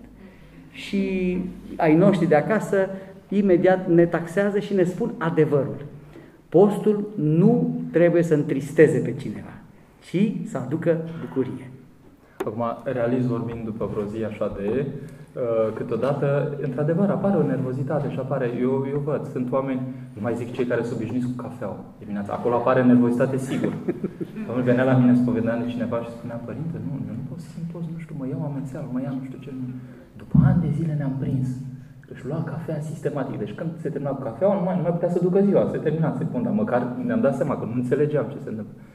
Însă, vedem pe noi, adică să fim foarte realiști. Sigur că apar niște manifestări nedorite, ca să spunem așa, care fac parte din, până la urmă. Însă Dumnezeu copleșește lucrurile acestea, adică drumul s-a terminat acolo. Mai spre sfârșit, vine, nu s-a pierdut nimic din ce e investit acolo și uh, poate îl chemați și pe fiul noastră să țină o predică aici, să spună și cum vede lucrurile. Câteodată copiii sunt surprinzători despre cum pun problema ce natural și ce firesc și așa mai departe. Însă, uh, cred că, adică vă spun lucrurile acestea ca să nu ne descurajăm cumva, adică noi suntem la fel de oameni ca și dumneavoastră în sensul că uh, uh, hainele astea nu pot ascunde Uh, neputințele pe care noi înșine le trăim. Nici nu vrem să o facem. Exact. Nici nu vrem să o facem. Nici, nici nu e profitabil, nici, e dezastru. Nici nu avem intenția asta. Însă, pe de altă parte, să știți că sunt unii care spun, a, pe dacă părintele, adică el spera că părintele nu știu ce e și, da, vedeți, e o mentalitate a omului. În contra, cred că trebuie să fim foarte onești. Trebuie să citiți în noi și să vedeți că uh, suntem niște oameni absolut normali, cu neputințele pe care le cunoaștem, care însă încercăm să-L câștigăm pe Hristos. Și tot ce dăm noi aici este o mărturie despre cum încercăm noi să facem. Restul lucrăm împreună. Laboratorul ne privește pe toți. Da? Așa este. În primul rând, uh, experiențele pe care noi le trăim sunt experiențele pe care și voi le trăiți. Trăim împreună în acest București, trăim împreună în capitale mari, uh, cu mulțimi de oameni și pericolul n-ar veni de la mulțimile de oameni, cât ar veni de la influențele lumii în care trăim. Și aici aș vrea să trecem către partea a doua, către postul în contemporaneitate, în postul în da. zilele noastre, pentru că Sfinții Părinți identificau în vremurile când canoanele s-au dat, da, ca o ispitire sau ca o depărtare a omului de Dumnezeu, îmbuibarea pântecelui. Deci îmbuibarea pântecelui putea să constituie o problemă de pentru cel care mânca, nu știu, carne, bea vin, de aceea și restricțiile acestea vin și un de lemn. Am avut, apropo de asta, o mică paranteză, o ispită și cu un de lemn în post. Că mi-a făcut nevastă mea marți seara sau miercuri seara spre joi, mazăre cu un de lemn, cu ulei. Și eu am zis, dar eu nu vreau să mănânc cu ulei. La care a zis, dar ce stă în gât? Adică stai puțin. Cum, Cum adică? Chiar nevastă, într-adevăr, și ați mâncat. Și am mâncat. Da, da, da, ideea a fost așa. Deci dacă eu nu mâncam, îi stricam bucuria, deci am avut de ales așa. Dom'le, țin fără ulei până sâmbătă. Așa mi-am pus în minte. Și am încercat. Luni seara am încercat cu cartofi da. la cuptor. Am băgat cartofi copți la cuptor, am luat unul mare, așa, am pus unul mai mare. Și mi-am dat seama că nu mi-a trecut foamea și am mai luat încă un cartof uh, copt. Dar când Pe fratele lui. Pe fratele lui, da. L-am luat și pe fratele lui. Dar când soția mea a gătit și a pus puțin ulei, că nu, nu ieșea acolo mazărea aia. Bun. Și când, când m-a pus în fața farfuriei și am spus că, da, știi, are ulei, păi are ulei. Și atunci mi-am dat seama că dacă eu nu mănânc, îi stric ei bucuria și dacă mănânc, stric postul cu un de lemn am ales să mănânc cu dragoste și nu-mi pare rău nici astăzi că am mâncat cu ulei. Deci, dragilor, dragilor, dacă ați mâncat cu ulei, nu vă temeți foarte tare, nu e un păcat foarte mare acesta. E o cerință, mai ales în lumea monahală, mâncarea fără un de lemn este necesară acolo. Însă sunt canoane, de exemplu, uh, li se dez, se, sunt dezlegați cei care lucrează în mină să mănânce carne în post. Pentru că cel care intră în mină are nevoie de multe calorii să muncească. Așadar, biserica nu dă niște uh, legi uh, oarbe în afara nevoii omului. Atunci când un om muncește fizic mai mult, important e să ai contact cu duhovnicul tău și să spui duhovnicului tău, am doamne care îmi spun, părinte, nu pot să postesc decât săptămâna aceasta mare, după aceea să-mi dați și mie binecuvântare pentru uh, brânzeturi, nu mănânc carne, dar uite, am o problemă, o osteoporoză, o altă problemă de sănătate, dați-mi binecuvântare. Tot ce faceți, dragii mei, încercați acest exercițiu, tot ce faceți să faceți cu binecuvântarea duhovnicului și totul va fi în lumina Duhului Sfânt, prin binecuvântare. Primind binecuvântare în orice faceți, va lucra Dumnezeu în viața dumneavoastră. De aceea acum legătura cu duhovnicul e mai strânsă. Și uh, se întâmplă uh, că vin unii și spun că uite, tocmai în post vin ispite mai mari. Și sunt ispite mai mari în post. De ce sunt ispite mai mari în post? Astăzi am avut câteva telefoane a unor enoriași care mi-au spus, părinte, nu mai pot. am o ispită foarte mare. De când a început postul și citești la psaltirea, le-am recomandat să citească psaltirea, îmi e mai greu, mi se întâmplă niște lucruri și nu știu cum să fac. Și uh, aici vreau să vă întreb pe Sfinția voastră. Eu i-am dat un răspuns tânărului și celuilalt domn care m-a sunat, dar spuneți-mi Sfinția voastră cum să răspundem celor care ne spun treaba aceasta, că li se întâmplă ca în post sau când citesc la psaltire să aibă ispite. Da, uh, nu sunt un specialist, desigur. Eu, adică cei care se povedesc la mine, cam știu așa pe, pe termen lung, ca să spunem așa, pe un parcurs lung. Și sigur că în clipa când îl cunoști pe un om așa, îi știi un pic uh, zona de vulnerabilitate și trebuie să te uiți un pic dacă nu și-o stârnește el sau în orice caz, dacă nu cumva face anumite lucruri care îl fragilizează acolo. Uh, eu personal n-am recomandat multora citirea la psaltire, totdeauna când mă întreabă cineva, le dau la toți binecuvântare o catismă sau două, dar nu încurajez să se apuce să citească psaltirea dintr-o parte în alta, asta în niciun caz, pentru că nu sunt la starea respectivă să o facă. Uh, iar când asupra unui om năvălesc niște lucruri, pentru că știu că poate să năvălească câteodată de nu așa, pe mine doar duhovnicul m-a scos. Adică când uh, duhovnicul, că am dus spre duhovnic, deci atunci îi chem cât de repede la spovedit, să spovedea, să spună lucrurile alea, pentru că experiența până acum cu cei care se spovedesc a arătat că nu există dosar spus la spovedanie să nu se întâmple ceva. De acolo începe să lucreze Dumnezeu. Deci n-am întâlnit om să spună ceva la spovedanie să nu se declanșeze ceva în legătură cu lucrul respectiv. Deci acoperirea noastră e duhovnicul. Diavolul, de exemplu, sunt atâtea mărturii, adică în Sfântul Munte, în care îi băteau pe monahi, inclusiv fizic, și la un moment dat un monah, când să se apropie să-i facă așa ceva, a spus, am duhovnic. Și gata. Stop. S-a mai întâmplat nimic. Atât de mare e taina ascultării. Deci, în clipa când ne e greu, eu i-aș chema urgent, veniți, vă spovediți, spuneți lucrurile acestea și am încredere că în felul acesta se întâmplă. Și eu, la rândul meu, am intrat, intru în trepidații câteodată, de câteodată nu mari trepidații, rar, desigur, dar sunt situații în care nu mai zici că nu mai controlezi, că nu, nu știi ce se întâmplă. Însă m-au scos rugăciunea duhovnicilor. Deci, în niciun caz, orice aș fi făcut eu, deci dacă m-ați întrebat ce rețete le dau ce să facă, nu asta e. Ei pot să facă ce ori face. Deocamdată sunt în uh, tompet, da? sunt în, uh, cum se cheamă, în furtună. Nu, nu, nu e a lor. Dar dacă spovedesc, de acolo, de acolo începe. Ascultarea îl scoate pe om din, din toate, toate lucrurile. Până acum la mine a funcționat așa. Așa este, să știți că sunt mai sensibili. Am observat că oamenii sunt mai sensibili când țin post, când se roagă mai mult, ă, simțurile se deschid altfel și atunci ă, primești altfel toate cuvintele. Ă, ispitele pe care le-au avut cei care m-au sunat astăzi au fost din atitudinile altora față de ei.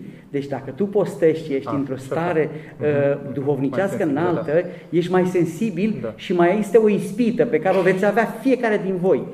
Veți fi tentați, pentru că voi postiți, veți fi tentați să-i judecați pe cei care nu postesc și să-i considerați, a, ăla nu postește.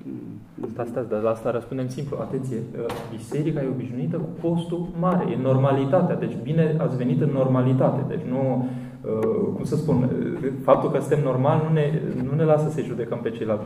Ei nu sunt anormali ci pur și simplu ei nu... Gândiți-vă la cineva, una e să fi avut o educație, să să fi investit părinții în tine, să-ți fi oferit ceva, te compar cu unul care este pe stradă, care n-a avut nimic din toate lucrurile acestea, sigur că el lucrează virtutea altfel decât tine, că tu ai avut niște posibilități. Deci așa suntem noi. Faptul că postim e că avem o cultură în spate care ne permite. Noi, până la urmă, suntem uh, foarte dăruiți cu lucrul acesta. Deci să nu o transformăm în nu știu ce subiect de glorie, că nu e cazul, ci să profităm de ceea ce știm în viața bisericii spre a spori duhovnicește. Așa este.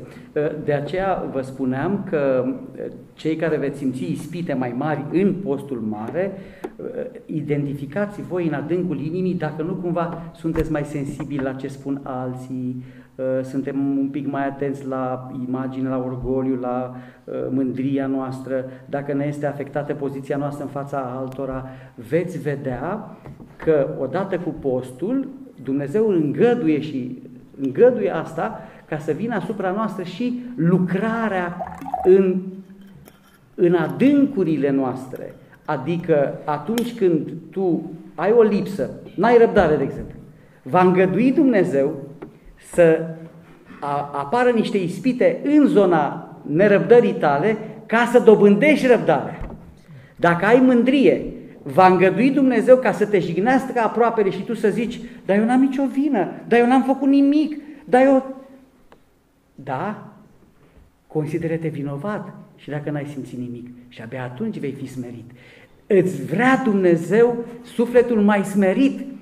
Deci acceptă toate ispitele acestea ca pe foc curățitor pentru uh, neputințele voastre, individuale. Fiecare știți cu ce vă luptați și veți vedea că din iubire, de fapt, Dumnezeu îngăduie niște ispite exact pe zona aia.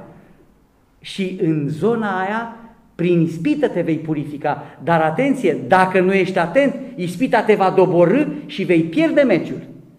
Dacă vii repede la duhovnic și spui, părinte, am ispită în zona aceea, uitați ce mi s-a întâmplat, uitați cu ce, prin ce am trecut, nu-mi vine să cred, tocmai mie mi s-a întâmplat asta. Și atunci vine duhovnicul și spune, da, fică duhovnicească, nu te teme. Harul Domnului va lucra. Dumnezeu te iartă, te iubește, întărește-te în credință, întărește-te în virtute și veți vedea că de fapt postul este școala purificării sufletelor celor care vor cu adevărat să meargă pe acest drum. Deci postul nu este nici de dietă, cum spuneați, nici doar despre mâncare, ci este despre purificarea sufletelor noastre în focul ispitelor, prin ispite ajungem la Hristos. Cuvântul ăla tocmai mie e foarte interesant. Atenție, e, e, e o oglinda noastră. Când apuci să zici tocmai mie, deja îți spune foarte multe despre tine. Cum adică tocmai ție? Păi, da, ție, tocmai. Exact. Uh, se poate întâmpla și pur și simplu, mie, vă dau exemplu foarte concret. La un moment dat, uh, acum mai mulți ani, duminică în general aveam foarte mulți copii. Noi avem așa numărați 102 copii la, cu noi, duminică de duminică. Uh, sunt mulți copii. Suntem în parohie cu mulți, și cu mulți tineri și cu mulți copii. Uh, și la un moment dat, duminica mi era mai greu decât în timpul săptămânii. Noi avem liturghii în timpul săptămânii, plonjăm, e o liniște așa la șapte dimineața, nu, e, nu te deranjează nimic. Ei, și față de duminică, în care, cum să spuneam, cu toții strepidam, așa, era în timpul săptămânii. Și m-am gândit, bine mi-e gând așa, deci că eu trăitor. A, ce bine, acum pregăteam proscomidia, spuneam, ce liniște în biserică, acum mă voi concentra, va fi, nu mă mai deranjează nimeni, nu știu ce. Când deodată am dat seama că încep să mișune în mine toate chestiile din interior care nu mă lăsau să văd de treabă. Zgomot de afară nu era nicio clipă, nu mai era nimic. Dar în interior nu eram în liniște. Și atunci mi-am dat seama că ce copii, copiii n-au nicio treabă, nu copiii erau o problemă, ci eu. Deci câteodată când scăpăm în sfârșit de bruiajul de afară și încercăm să ne adunăm un pic, rămânem cu noi înșine. Și vă garantez că în post, în clipa când rămâi cu tine, cu tine însuți, începi să-ți dai seama real cam ce te mișună acolo. Și descoperi altfel. Altfel se aud lucrurile respective. Nu le auzeai dacă erai tot timpul focalizat spre exterior. Dar acum nu mai ai nicio șansă. Ai rămas cu tine și cu lucrurile de acolo și ți-ai dat seama de ele. De ce așa? Dar știți de ce? Pentru că atunci când ești pus în fața listei de spovedanie, atunci începe lupta cu adevărul din tine. Adică atunci când te pregătești să te spovedești, eu îi îndemn pe credincioși să facă listă de ce? Pentru că poți să, poți să uiți, poți să Sigur. uiți, e omenește să uiți. Vino frate cu listă, că dacă vii cu listă, îmi arăți că te-ai pregătit, îmi arăți că îți pasă, că vrei să te schimbi, că vrei să te îndrepți. Și atunci în fața listei te întrebi, care este problema mea? Ce am eu? Ce păcat dominant este în mine? Și acolo începi să lucrezi la listă. O experiență foarte frumoasă duhovnicească, împreună cu preotasa mea, este că facem lista când mergem la duhovnic împreună. Și ne ajutăm unul pe altul. Și eu întreb pe ea, iubirea mea, cu ce am mai greșit eu? Spune-mi și ca să scriu și eu aici. Pentru că poate eu am uitat, poate că tu n-ai uitat și așa de frumos. E așa de frumos momentul ăla, când ne deschidem fiecare, că poate și eu îi spun ei, uite, cred că tu ai uh, greșit în punctul acesta sau în punctul acela.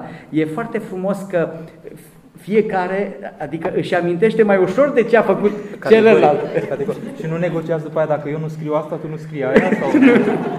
nu, vrem, vrem să scriem tot ce am făcut, tocmai pentru că simțim această pace, ne spovedim la Părintele Arsenie Muscalu, la Mănăstirea Cornu și de câte ori plecăm de la Părintele, plecăm cu mare bucurie. Deci, ă, miza postirii este purificarea noastră de, tot, de toată mizeria din noi, de tot noroiul, de toată, toată mizeria asta care uh, înfundă toate uh, Canal. canalele Inclusiv din... canalul de comunicare cu... Da, haideți să ajungem și aici, părinte drag. Uh, Vreau apropo să de știți, canale. apropo de canale, că eu le-am recomandat enoriașilor să în prima săptămână, măcar câteva zile, să țină post de WhatsApp, post de Facebook și post de TV. De ce am spus asta? Pentru că televizorul te risipește, WhatsApp-ul te risipește, Facebook-ul te risipește dacă îl folosești mai mult decât trebuie și dacă doar transmiți mesaje banale. Bună dimineața! Și primești 30 de bună dimineața. Dacă tu stai să răspunzi la fiecare bună dimineața, e clar că te risipești. Deci la un moment dat scrii bună seara. Ajuns să scrii bună seara, că se face seara între timp. Vreau să, să, să știe cei care ne urmăresc că măsura, biserica este locul în care Dumnezeu din iubirea Lui pentru noi ne dă măsura lucrurilor. Aici aflăm care este măsura. Și măsura ar fi că tot ce, ceea ce te risipește mai mult decât ceea ce este normal și firesc, în momentul în care îți pierzi libertatea ta, și am descoperit, părinte, în mod sincer vă spun și deschis, uh, pentru că această seară este o seară atât de, de deschisă, uh, am rugat pe oameni să nu deschidă datele celulare în câteva zile, prima zi de post, a doua zi de post, începem așa să fim departe de toate acestea. Și m-am trezit marți seara, părinte, că n-am mai putut să rezist că trebuia să răspund la niște mail-uri importante și am deschis datele celulare pentru un timp și mi-am verificat mail-urile, deși eu predicasem, părinte, că să nu fac... Cu fața la ei. Cu fața la voi. Deci, deci dragilor, e, este incredibil de greu să reziști. Și am întâlnit ucenici de-ai mei care mi-au spus, părinte, mi-a spus de post de WhatsApp, n-am putut. Mi-a spus de post de Facebook, n-am putut. Deci nu, nu spun să să nu le folosim deloc, dar e bine să le folosim cu măsură.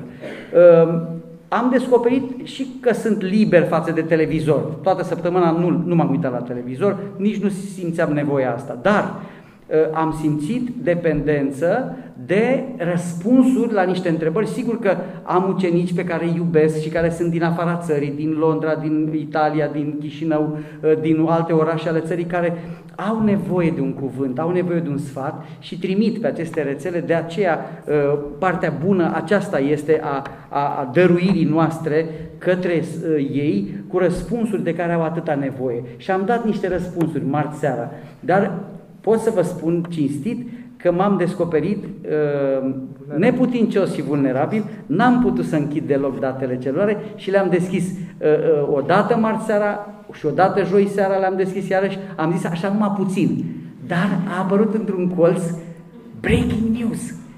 Nu știu ce s-a întâmplat. Și am zis, uite, vezi, fii atent, așa, asta este ispite și n-am deschis chestia aia, dar, dar am fost ispitit să o fac. Uh, deci am recomandat și recomand uh, măsură multă în folosirea acestor instrumente. Sunt instrumente care pot să ne ajute enorm de mult, dar care pot să ne risipească. E cum e cuțitul ăla bine ascuțit.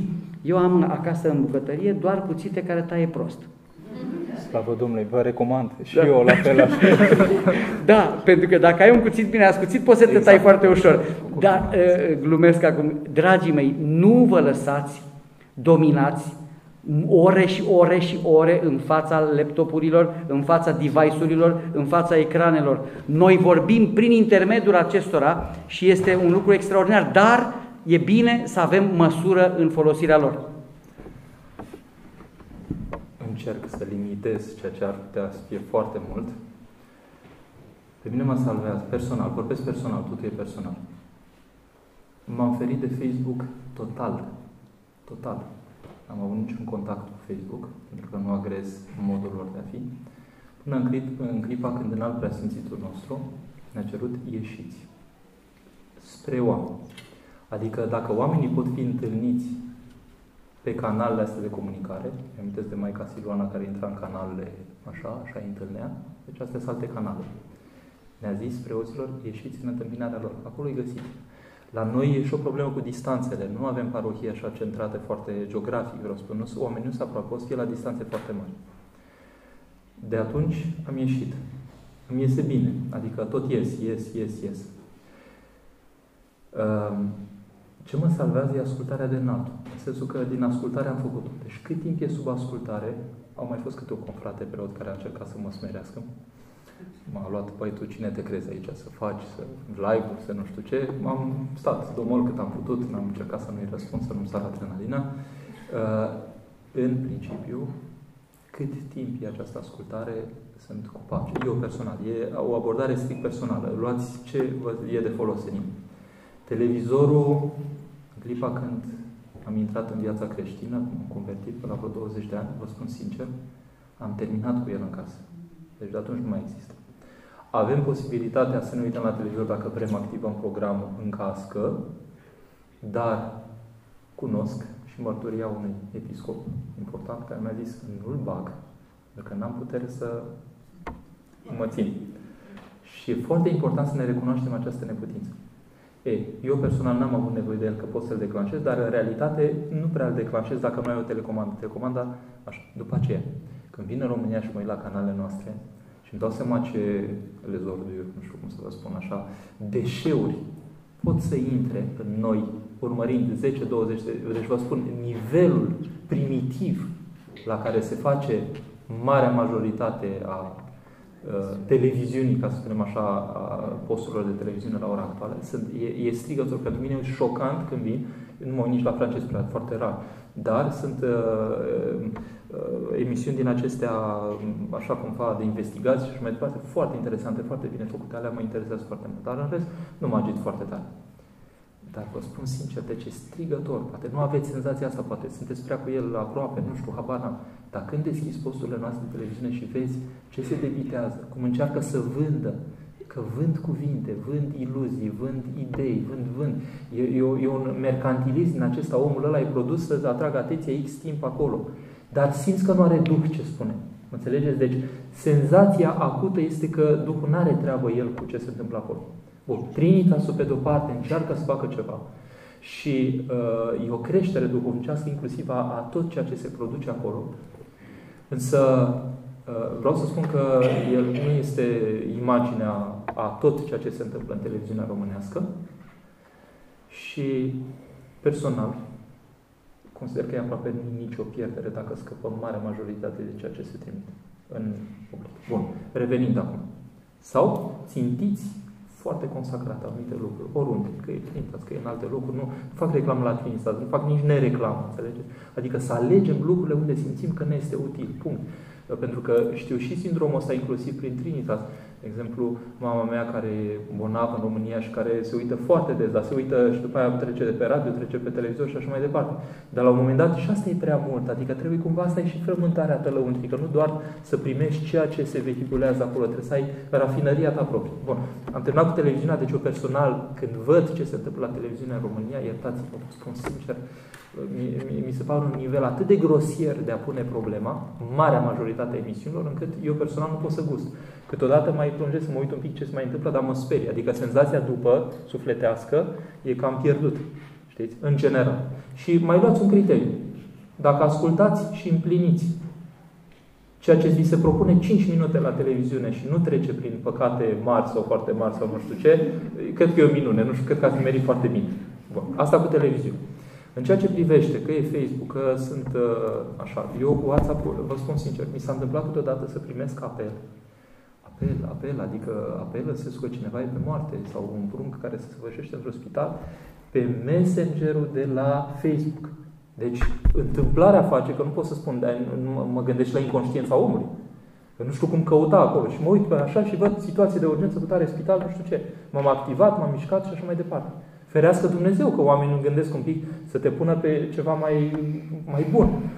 Că ăla m-am uitat întâmplător. Deci eu cumva funcționez cam în timp real cu ele. Nu, nu permit luxul să mi le opresc la ora actuală, pentru că știu că măcar printre ele, presărat, sunt lucruri, dar încerc să fac, cum să spun, există un criteriu fundamental. Urgență nu înseamnă prioritate. Da? în comunicare. Urgență nu înseamnă prioritate. Spune, răspundeți în repede că nu știu ce. Da, dar poate nu ești prioritar. Sunt foarte, știți cum, deci nu, nu neapărat, asta nu înseamnă.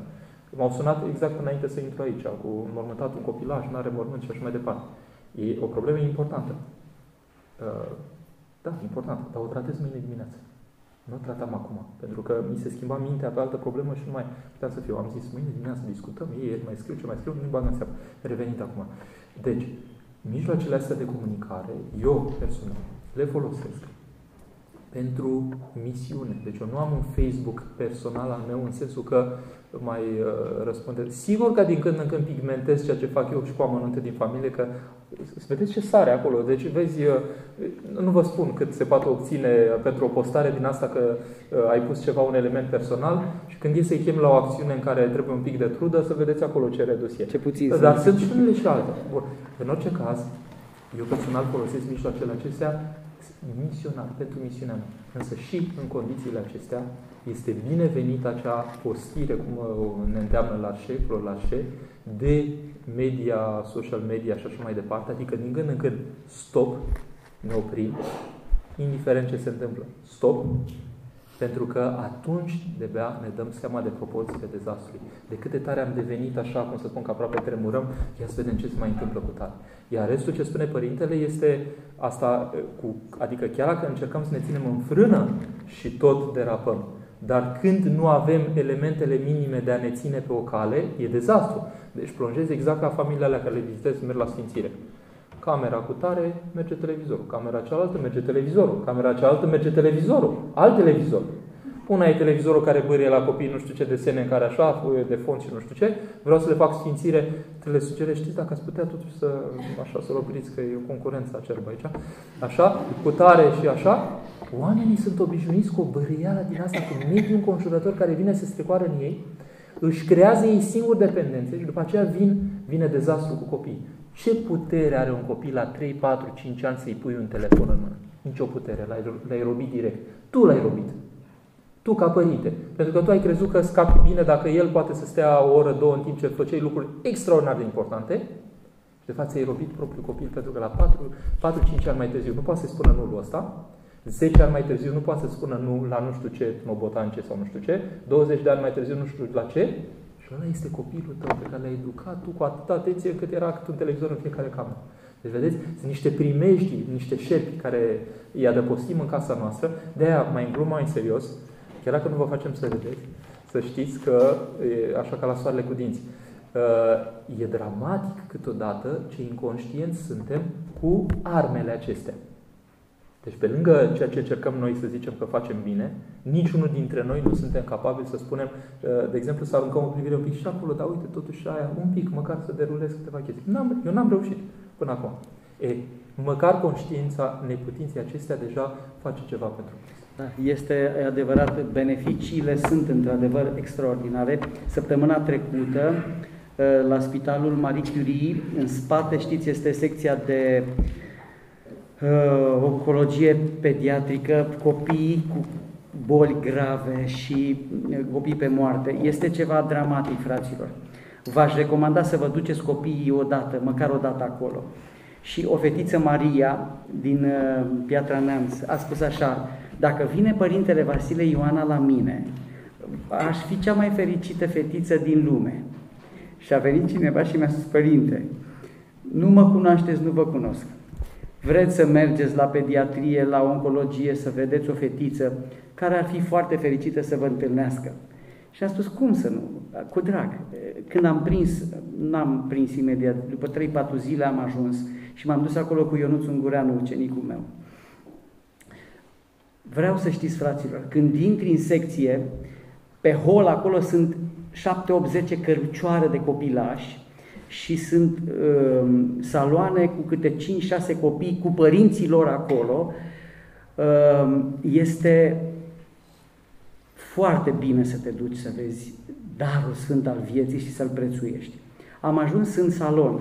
Când am ajuns în salon erau 5-6 copii cu părinții lor și a venit Părintele Vasile. Maria s-a uitat așa la mine, a zâmbit și brusc, deci am binecuvântat, i-am pus mâna așa pe cap, pe frunte și am spus, Dumnezeu să te binecuvinteze, Maria, și i-a, i-a curs o lacrimă. Și n-a mai putut să vorbească, ci a luat-o somnul.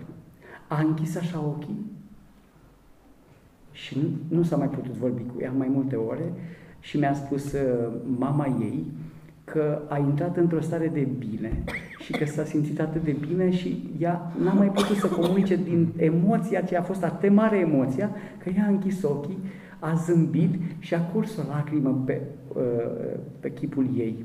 Uh, n-aș fi putut să o întâlnesc pe Maria dacă nu aș fi avut uh, canalul acesta. Canalul acesta este făcut de ucenicii ai mei, Uh, care pune misiunile pe care le realizez la ProTV și uh, slavă lui Dumnezeu că sunt foarte mulți oameni care uh, bucuria mea asta este. Părinte, nu prea aveam încredere sau nu am venit niciodată la preot, n-am cunoscut pe cineva în care pot să am încredere și am venit să mă spovedesc. Atunci când văd zeci și sute de oameni care vin să se spovedească, care vin la liturghie, la Sfânta Liturghie, la Dumnezeiasca Liturghie, care vor să-L caute pe Dumnezeu, inclusiv că este prin canalul acesta, nu contează. Misiunea e bine să o facem spre slava lui Dumnezeu și spre dragostea către cei care au atât de mare nevoie. Și cei care au cea mai mare nevoie sunt cei care sunt într-un pat de spital, într-un pat în pușcărie sau răstigniți în disperările și în situațiile dramatice ă, legate de viețile lor. Mă refer aici la depresii, la depresii, la anxietate și așa mai departe. În momentele acelea, oamenii aceștia au nevoie de cineva, o persoană, de un om. Și mă duc și doar le zâmbesc. Și doar îi binecuvântez. Nu spun nimic. La Maria i-am spus lui Ionuț că vreau să mai mergem pe la ei, pentru că după aceea m-am oprit în 4-5 saloane și am stat de vorbă cu părinți. Deci, ce poți să faci prin aceste canale este misiune pentru Dumnezeu și să vă rugați pentru noi, fraților, să ne dea Dumnezeu puterea ca să împărtășim și noi din inimile noastre uh, dragoste către oameni, pentru că atunci când Mântuitorul a înviat, le-a spus apostolul să meargă în toată lumea să propovăduiască Evanghelia la toată făptura. Astăzi, mesajul Domnului pentru mine este ca și cum mi l-a dat sau mi-l dă în fiecare zi Domnul. Să propovăduim Evanghelia la toată făptura.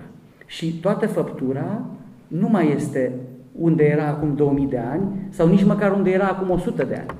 Înainte erau uh, pergament, Apoi a apărut tiparul, 1531. A, Gutenberg a, a, a făcut un, un salt uriaș. După ce a apărut tiparul, s-a publicat enorm, tone, tone, tone. Acum, iată, a apărut acest online care poate să aibă un efect extraordinar în viețile oamenilor care îl caută pe Dumnezeu și se mai poate întâmpla ceva. Eu am, mai, mai am un criteriu. Haterii, mulți dintre ei s-au întors la Dumnezeu, frate au început întâi să ne arunce câteva flegme pe chipuri. Iar noi le-am șters și le-am zâmbit mai departe. Și atunci au zis, hopa, adică nu s-au luptat, că nu au avut cu cine, noi nu știm să ne luptăm. Nu știu, dacă cineva mi-ar da un pumn, eu n-aș ști să nu am bătut în viața mea, nu m-am luptat nici fizic, adică ar fi foarte simplu pentru un om care are puteri fizice să mă dea jos imediat. Da, o pot face, dar ei dacă au văzut că noi nu vrem ceva, nu le luptăm pentru ceva, ci iubim oamenii. Îi iubim așa cum sunt și noi judecăm pe oameni. În fața acestei realități, hateri au venit la biserică și îi mulțumesc lui Dumnezeu că am astăzi în parohie la mine oameni care întâi m-au ponegrit. Ce cauți tu, popă, pe Facebook? Ați ajuns și aici? Astea au fost uh, primele lor reacții. Și am răspuns și m-am împrietenit cu ei și acum ei sunt în biserică și îi mulțumesc Domnului pentru asta. Deci acestea sunt câteva aspecte pozitive pe care le trăiesc în fiecare zi în viața mea și pe care și Sfinții asta le, trăim, le trăiți în fiecare zi. Dar sunt și aspecte negative, să ne țină Dumnezeu departe de ele, departe de deșertăciune, departe de abuzul de Facebook. Că vor să pună și întrebări, că mă tem că i-am speriat da. cu dialogul. Da, dragii mei, vă rog, doamnă. Măcar un nu vreau să pun o întrebare, vreau să dau o mărturie de credință în relație cu Sfinția voastră. Pe părintele l-am uh, cunoscut la Trinitas TV, apropo de Trinitas TV, acum mulți ani în urmă, când Sfinția sa a fost invitat la diferite emisiuni. Sau reporteri de la Trinitas TV au mers la parohia dânsului la Sensul Pis și au luat un interviu și mi-a plăcut tot ce a spus și cum a spus părintele. Și mi-am propus atunci, dacă Dumnezeu va îngădui să ajung la Paris, vreau neapărat să merg la Sfânta Liturghie unde slujește Părintele. Și s-a întâmplat lucrul acesta. Cu ajutorul Dumnezeu, în 20 ianuarie anul acesta, am ajuns împreună cu fata mea la Paris și cum e bine ca lucrul tău să-l încep cu Dumnezeu, în cele două zile, cât am stat, ne-am făcut timp pentru Sfânta Liturghie uh, la parohia dânsului. Atunci a fost Duminica celor 10 leproși. Am ajuns de dimineață, vreau să vă spun, la ora 10 biserica era arhiplină. Nu erau locuri pe scaune, dar nu erau locuri nici în picioare. Erau, cum a spus părintele, foarte mulți copii uh, pentru care părintele a amenajat măsuțe, uh, scaune și fiecare copil avea jucările lui și treaba lui și se întâlnea cu Dumnezeu în felul lui. Uh, liturgia se slujește în limba română și în limba franceză. Deosebit. Tatăl nostru, în limba română, a fost impresionant, așa cum l-am auzit în uh, parohia Părintelui. Parohia, nu v-am spus, este la subsolul unei mari catedrale din Paris, Saint-Sulpice. Uh, este ceva absolut special. În momentul în care am intrat, se făceau niște rugăciuni absolut speciale, deosebite. Slujitorii uh, parohiei respective se rugau pentru mămicile sărcinate, să ducă sarcina la bun sfârșit, pentru tinerii care își doresc un copil și care se roagă la Dumnezeu pentru aceasta și părinții, bineînțeles, pentru ei. Uh, se rugau pentru tinerii din Paris care doresc un loc de muncă pe care nu-l aveau.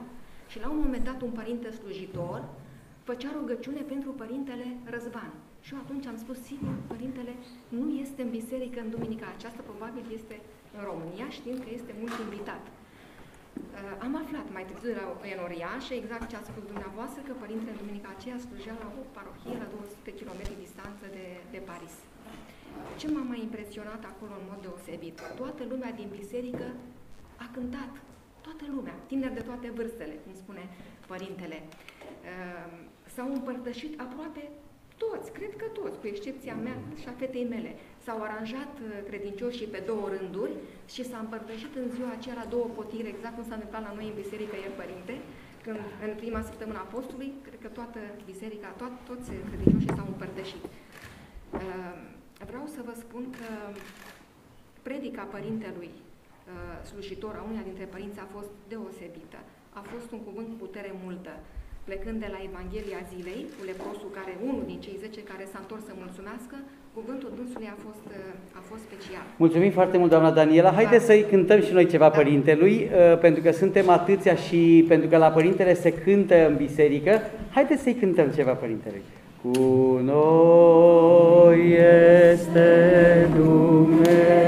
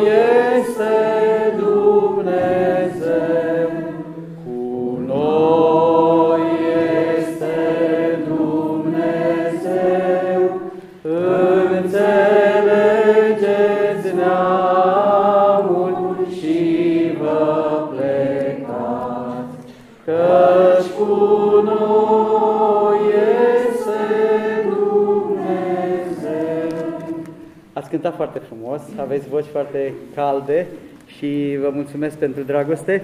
Uh, aceasta a fost uh, practic uh, partea importantă a conferinței Părintelui. Pentru cei care doriți să mergeți să vă culcați copilașii, o puteți face. Pentru cei care doriți să mergeți, să intrați în programul de seară, o puteți face. Eu provoc încă o dată dragostea Părintelui să mai rămână cu cei care vor să mai rămână, să răspundă câtorva întrebări. Am observat că în, în, în parohia noastră sunt creștini care au câteva întrebări importante din ce am vorbit cu ei zilele trecute. O primă întrebare a unei doamne ar fi, Părinte Drag, cum să obținem noi virtutea răbdării? Deci aici în București nu există virtutea răbdării, nu există, adică nu are nimeni răbdare pentru nimic, toată lumea se grăbește și aș vrea să ne răspundeți la întrebarea asta, pentru că avem nevoie de răspunsul Sfinției voastre, mai ales că veniți dintr-un oraș mai aglomerat decât Bucureștiul. Cum puteți să aveți răbdare într-o într -o, într, -o, metropolă ca, ca, Bucure, ca, ca Parisul și vrem să ne, să ne spuneți cum să obținem și noi această virtute a răbdării, tânjim la ea, o dorim și nu o avem. Și am vrea, și am vrea să o avem. Pornind de la descrierea foarte măgulitoare pentru noi, dar în același timp nerealistă a parohiei mele, adică sigur că oamenii se roagă acolo, sigur că s-au împărtășit mulți pentru că, pentru că așa este la noi, sigur că sunt mulți copii, nu, nu contez lucrul acesta, uh, doar că să nu-l idealizăm, în sensul că, haideți să fim foarte onești, suntem într-o lume care nu neapărat împărtășește valorile noastre. Dacă nu facem așa, ne stingem în următorii 10, 20, 30 de ani. Oricât ar fi de frumos. Deci e o luptă de supraviețuire pentru noi, prin viața noastră creștină, și dacă ori, adică ori este ceva duhovnicesc, ceva autentic și ceva care are forță, ori dacă nu ne stingem. Uh, impactul societății asupra noastră, asupra copiilor, în special la școală, este devastator. În sensul că uh, marea majoritate a lucrurilor pe care le învață, le învață într-o societate unde Uh, valorile nu sunt cele pe care le trăim în viața bisericii. Și atunci uh, apare la un moment dat un, o contradicție câteodată între ele, deși ar trebui să poată să funcționeze și unele și altele. Adică ar trebui să știu să fiu creștin Uh, oriunde aș fi. Ei, și cu toate acestea este foarte greu. Deci, uh, noi observăm lucruri care sunt, uh, cum să spun, sunt relevante. Și pentru mine, de exemplu, nu mi-e foarte ușor să mă duc într-un loc, de exemplu, unde ei nu știu că sunt preot și să fac cruce. Deci, vedeți, sunt preot, dar sunt în medii unde e foarte diferit sau, în orice caz, nu, nu, e, nu m-am dus ca preot. Pentru copii, de exemplu, ne-au povestit într-o parohie cum copiii s-au ferit să se arate că îi recunosc pe preoți când au trecut prin fața școlii, ca să nu-i vadă colegii cum că, au, uh, că îi merg la biserică, sunt relați și așa mai departe. Deci lucrurile sunt niște realități. Dacă parohiile noastre, în parohiile noastre nu simțim viață și nu simțim uh, intensitate, dacă pot să spun, a trăirii noastre, ne-am terminat. Acolo ne, cum să spun, în, într-o generație, două, trei, s-a terminat și cu ortodoxia și cu, cu totul. Bun, revenind acum, apropo de răbdare. Eu nu am răbdare, personal vă spun, nu am răbdare, însă uh, am constatat un lucru. Când am fost hirotonit, uh, eu de fapt am făcut un fel de tahicardie care s-a întins zile în șir, în sensul că mi-am dat seama că sunt preot. Și m-a apucat o frică atât de mare de realitatea mea, adică de mine, însumi, am zis ce o să mă fac de acum cu mine. Pentru că nu, nu știu cum o să pot să duc lucrul acesta. Și a început să-mi bată inima și nu se mai oprea. Treceau zile și nu se mai oprea. Mă sculam și îmi sărea inima din nou. Ce mă fac cu mine acum? M-am băgat? Ce fac? Și noroc a venit timpul slujirii. Și când am ajuns în biserică și am vrut să intru în altar, să iau veșnic, deodată a venit o pace așa lăuntrică în mine, care s-a instalat în mine și am început să spun cuvintele slujbei dintr-o cele ale păcii. Adică am uitat de tot uh, tremur. Concluzia este că pe măsură ce am slujit, am scăpat de tachicardie. Da? S-a terminat problema. Dar așa pe nesimțit. Acum revenind cu nerăbdare. Sigur că uh, e mai sus ca intensitate în Paris și mi-au povestit cei care vin din New York că Paris e un fel de oraș așa provincial lângă ce duc ei acolo. Adică noi suntem obișnuiți cu niște timp de reacție și cu niște lucruri, uh, cum să spun, se petrec foarte repede, mai repede decât aici. Mai repede. E sigur că sunt multe lucruri unde se petrec mai repede. Ai trebuie să decizi uh, foarte repede. Uh, pe de altă parte, avem timp de așteptare cu mașină teribil. Avem bușoane pe unele bușon. Deci, stăm câteodată, ne-am obișnuit. Vă spun sincer, ne-am obișnuit. Deci, de exemplu, dacă e o adunare cu toți preoții în alt preasfințitul întârzie, nu ne mai stresăm. Știm că se poate. Dacă un preot întârzie, știm că se poate. Nu ne mai, nu ne mai consumăm pentru fiecare chestie. Suntem obișnuiți. La un moment dat, atât m-am săturat de stresurile care veneau asupra mea cu toate chestiile astea, că am zis, măi, oricum sunt repetitive, deci încerc să nu mă mai stresez pentru ele, că oricum am parte de ele tot timpul, a devenit exact precum știrea care se... Azi e o știre extraordinară, mâine e o știre extraordinară, pe mâine e o știre extraordinară, tot timpul e o știre extraordinară, deci e foarte banal până la urmă totul, deci ne-am obișnuit cu extraordinarul ăsta. Suntem nevoiți să așteptăm. Sunt timp de așteptare, mai ales cu mașina. Poți să stai 10 de minute, poți să stai mult, poți să mergi la tur. Da? Deci la plecare 2 ore și un sfert, la întoarcere fac câteodată 4. Uh, cine calculează că mai fac o oră și trei sferturi în plus? Uh, conducând. Dar în același timp fac multe alte lucruri. Ascult, uh, mă rog, tot felul de lucruri fac. Gândesc, Gândesc, de exemplu, am timp de așteptare prin lucrul meu. Am uh, o profesie pe lângă preoție care îmi pune timp de așteptare. Ce fac? Îl iau, scriu anumite lucruri, uh, corespondesc cu ceilalți. Adică câștig timpul. Rețineți un lucru care pentru mine e foarte important. Cel mai jos, josnic, jos, cel mai, cel mai rudimentar mod de a-ți petrece un timp e doar să scoți bani din el. Da? Deci, de exemplu, dacă sunt... N-ați înțeles. Mai spun o dată. Cel mai jos mod de a folosi timpul meu e doar să scot bani din el. Înțelegeți? Deci, Asta dacă sunt într-o așteptare pe servici, pe ceva, câștig timpul ăla dacă mai fac ceva duhovnicesc. Dacă câștig timpul respectiv. Era vestit un preot în Italia, unul din cei mai vechi, așa, vechea generație, toată viața lui a stat la, la peiaje, la astea unde se plătea pe autostradă. Dar el își făcea toate chestiile și le pregătea pentru parohie, deci pregătea toate cu cartonașe, cu chestii, cu lecții, cu nu știu ce, iar seara intra în biserică și făcea cateheze cu ei și așa mai departe. Fiecare se adaptează. Deci trebuie să ne adaptăm continuu, să câștigăm tot timpul pe care îl avem la dispoziție. De exemplu, poate să sune telefonul și după, după o zi plină, atenție, deci de duminică, de exemplu, zi, spun în sfârșit, gata, acum sună telefon, misiune. Nu-mi permit să nu iau, pentru că vreau să câștig și bani. O iau, plec noaptea, câteodată lucrez noaptea, lucrez câteva ore. Am timp de așteptare, de exemplu, chiar dacă e peste noapte, când ți-ar veni să dormi, de exemplu. Da, da, timpul ăla îl câștig. Ori gândesc ceva acolo, poate să vină o idee despre ce voi face, nu știu în ce context, trebuie să pregătesc ceva. Îmi fac timpul de așa manieră încât să-l câștig tot. Revenind. Asta dă o lovitură mortală nerăbdării. Pentru că, de fapt, eu tot timpul sunt într-o lucrare care doar variază în funcție de ce posibilități am în locul respectiv. Deci dacă v-a blocat aici pe mașină, dar oricum sunt, și aici sunt blocaje în România, vai de capul nostru, Bucureștiul, le, așa, le constat. Dar în mașină pot să fac foarte multe lucruri. Adică trebuie câștigat timpul ăla. Asta să nu faceți un accident din partea din cauza mea și după aia să treacă pe conștiința mea. Uh, fiți cu multă grijă când conduceți. Nu se, niciodată nu se ține ăsta în mână când conduce așa mai departe. Dar, uh, pe de altă parte, se pot face multe lucruri și se câștigă acest. Eu asta încerc să răspund. Deci nu atât suportând timpul, pentru că nu-l suport, pentru că am foarte multe lucruri de făcut, dar îl investesc în lucrurile respective. Când starea mea e cea mai așezată, mă pot ruga, dacă m-am rugat, este un câștig. Dacă nu sunt atât de așezat și nu pot să stărui cu lucrul acesta, gândesc anumite lucruri. Limite, limită în mașină, câteodată se lungește, ascult la radio. Dar câteodată sunt lucruri foarte interesante care constituie un fel de uh, ingrediente pe care le folosesc, de exemplu, când vorbesc cu oameni, de exemplu, caful, de cutare, de cutare lucruri, știți? Toate sunt folositoare. Deci aș zice că codificarea noastră tot timpul să fie spre formare continuă. Tot ce se întâmplă cu noi e o formare continuă. Și orice timp poate fi câștigat. Și atunci eu cred că, uh, cred că cu răbdarea... A, da, să vă spun cum spune așa că, că răbdarea este aceea care începe acolo unde se termină răbdarea. Deci, uh, eu văd la Părintele Cleopa spunea răbdare, răbdare, răbdare. Dar era Părintele Cleopa. Eu încerc să fac cât pot cu mijloacele de bord. Așa. Da, dar cum să avem răbdare cu oamenii? Aici mai greu. Răbdare cu oamenii? Am, părintele Joachim Par, parcă, da, nu știu da. dacă l-ați văzut. Da. El a spus un lucru fascinant, apropo de dăruire. A spus așa, pe când dăruiești cuiva ceva, pe tu să-i fii recunoscător lui. Pentru că, în fond, Dumnezeu ți-a creat contextul în care tu poți să fii dăruitor. Da? Deci, apropo de răbdare cu ceilalți, când alții, unii ne jumulesc, să știți că pe fiecare intervenție, cam sistematic, pe fiecare intervenție, am unul care împroașcă cu mizerii, cu mizerii urâte de tot. Și problema nu e pentru mine, că eu le suport, n-am nicio chestie. Dar sunt și copii câteodată care urmăresc și nu vreau să beneficieze de toate chestiile Eu, în general, ori îi blochez, ori mă ajut alții, mai blocăm.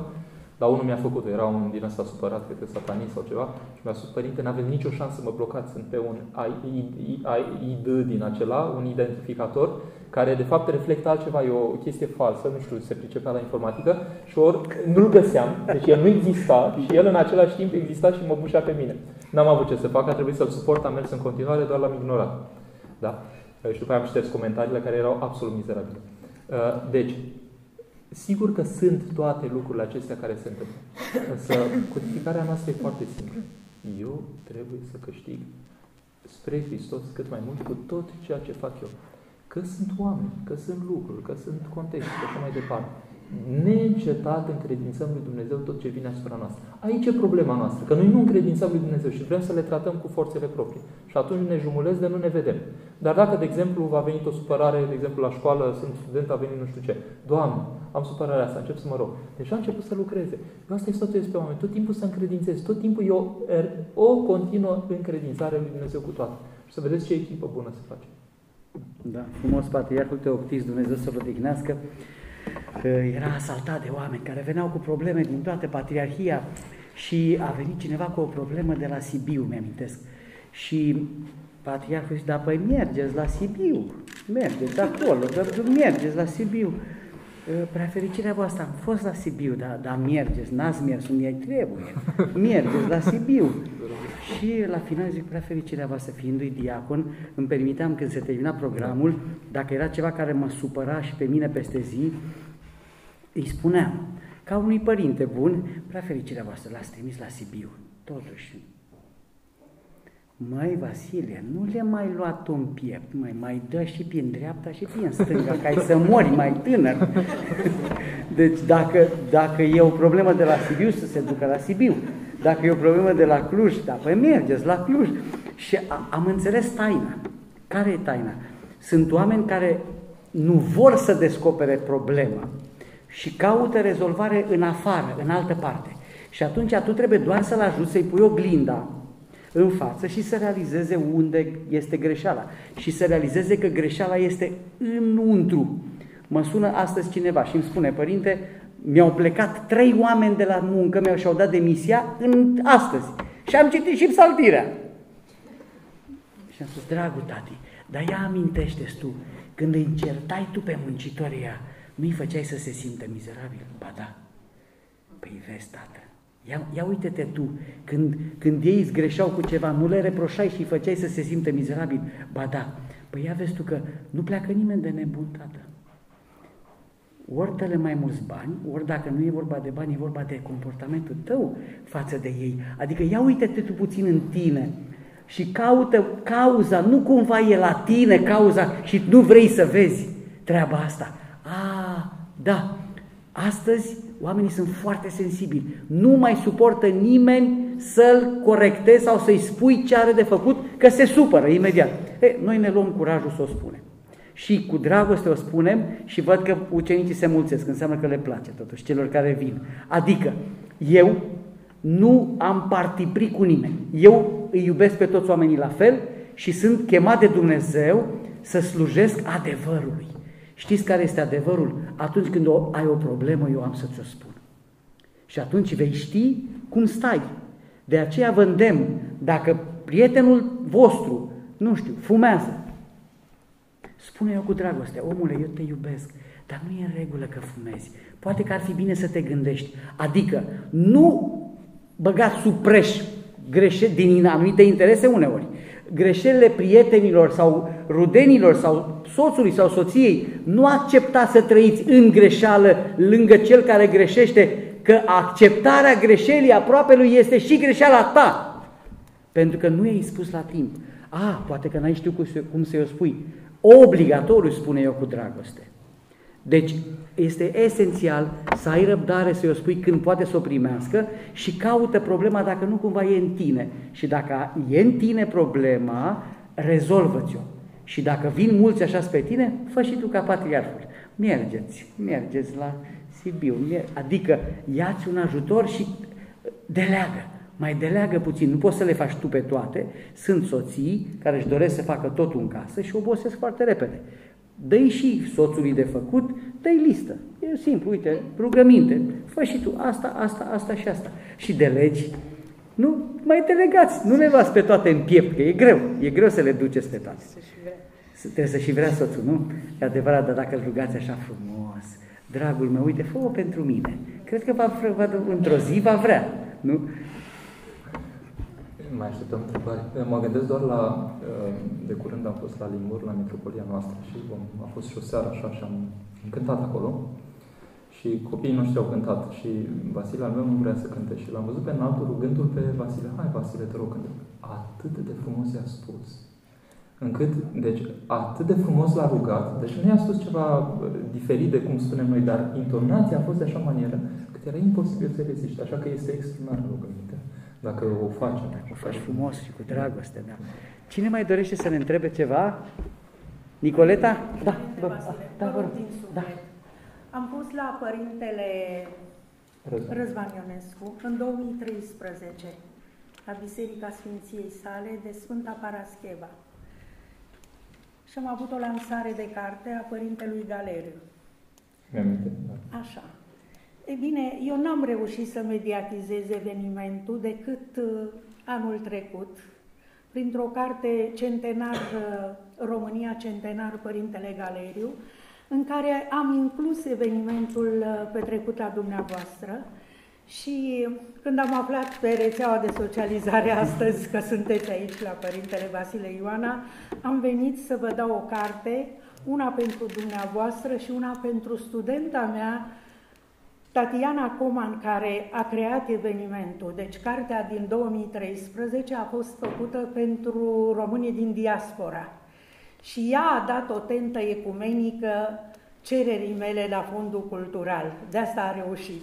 Deci cartea practic nici nu a fost în în dacă uh, România. Ea, ea nu mai știu ce, pe unde e, așa că dacă dați cartea și pentru ea am încurcat-o? Nu, am, am întrebat-o pe WhatsApp. A, perfect, perfect. Și a zis perfect. că va veni la dumneavoastră. Perfect. Ah, bun, perfect, da. perfect, atunci uh, este super. Mulțumesc O să vedeți, sunt și fotografii la sfârșit. Uh, în care dumneavoastră slujiți acolo alături de episcopul Marc și de fiul părint, nepotul părintelui Galeriu. Eu cred că am reușit acest lucru pe rugăciunea părintelui Galeriu și pe uh, jertfa lui Cristian, părintelui Cristian Galeriu, care a cântat la dumneavoastră la strană în perioada masteratului. Dumneavoastră o aveți deja acasă, da, da, o am, o am, o am deja, o am deja. Acum mă las, mă las un pic interpelat de mulțumim, vă mulțumesc din suflet. Mulțumim, doamna Argentina. Cu drag și mă iertați. Mă iertați, am școală mâine și nu mai am răbdare. Da. mă iertați. Doamne și de doamna profesor. Uh, Părintele Galeriu e o figură aparte și fără să mă, nu m-am numărat printre ucenicii lui, însă mi s-a întâmplat din când în când, vânându-l pe probleme de bioetică, să-l uh, efectiv, să stau după el să stau după el să-l caut până nu ieșeam cu cuvânt de la el, nu plecam de acolo. Am apucat o singură dată să facem o conferință împreună la Facultatea de Fizică, uh, iar cu Cristian Galeriu, Cristian Galeriu face parte din cei care au fost în Paris în perioada aceea de începuturi și așa mai departe. Asta ca să vă situez un pic contextul. Deci pe Părintele Galeriu chiar m-a întrebat odată așa zâmbind, uh, reușim să-l căsătorim pe Cristian, mă întreabă pe mine, dar nici eu nu eram foarte la distanță de vârsta lui, dar în sfârșit, uh, cumva atunci se, se așezau lucrurile. Uh, pentru noi, vă dați seama că este o să ne fi întâlnit cu personalitățile acestea. Vreau să vă spun că, de exemplu, când am, m-am pregătit, adică în ziua când m-am dus la examen la Facultatea de Teologie, mi-am pus înregistrare audio cu Părintele Galeriu, pentru că în vreo 10-20 de minute te introduceam tot Duhul ăla în toată starea aceea lui și când am simțit că așa s-a ridicat nivelul, așa m-am dus la examen și așa am scris acolo. Deci, vedeți, lucrurile acestea acum mi se par și mai firești în viața bisericii. E foarte important să ne bucurăm să ne dăm seama ce dar ne-a făcut Dumnezeu prin oamenii care, care am intrat în contact și la rândul nostru să dăm mărturie. Așa că mulțumesc din suflet și pentru carte și pentru faptul că îl, îl evocăm aici, pentru că o să ne dăm seama când nu o să mai fim unii și alții, de fapt, cum a rânduit Dumnezeu contexte în care ne-am ajutat unii pe alții pe drumul acesta al mântuirii și sigur vom purta recunoștință unii pentru alții. Să știți că am fost și eu atunci cu Cristian Galeriu la Paris prima dată eram copil, eram un copil și mă cheamă Părintele Galeriu, eram coleg de uh, cameră și coleg de bancă cu Cristian, buni prieteni, cântam împreună la strană și ne-a, ne susținut el toate cheltuielile pentru a merge la Paris. A fost prima capitală pe care am văzut-o în viața mea europeană în anii 90. Uh, cu ce cuvânt am rămas de la Părintele Galeriu? Mă chema să cânt ca diacon și spunea Părintele că credincioșilor lui de la Silvestru le place și cuvântul, dar și cântarea. Și el spunea așa, Vasile, reține un lucru pentru toată viața ta. Totul se întoarce aici. Și binele și răul. Faci bine, binele ți se întoarce. Faci rău, răul ți se întoarce. Întotdeauna matematic, Vasile. Ai făcut un rău unui coleg de, de la serviciu, ai vorbit pe cineva de rău, vei fi vorbit de rău. Ai făcut un bine unui om pe care poate că nu-l cunoști, te-a enervat cineva și nu mai puteai și spuneai, gata, termin, și ai, te-ai abținut, ți se va întâmpla ceva bun la un moment dat, în oglindă. Deci, mie mi-a rămas acest cuvânt și țin minte cum mi-o spunea, ține așa mâine, Vasile, totul se întoarce, și binele și răul. Fă binele și se va întoarce binele în viața ta. Și se va întoarce și se va întoarce și viața ta va fi un șir de lucruri bune. Și cu timpul, lucrurile bune vor deveni un șir de minuni în viața credinciosului autentic. Viața lui este un șir de minuni. În viața omului rău, viața lui este un șir de nenorociri.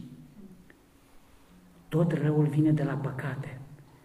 Gândiți-vă bine, rezolvați-vă, închideți-vă cercurile și gândiți-vă că tot ce faceți se va întoarce. Aceasta este mărturia cuvântului Părintele Galeriu în seara aceasta. Dacă vreți să rămânem cu acest cuvânt, putem să ne oprim aici.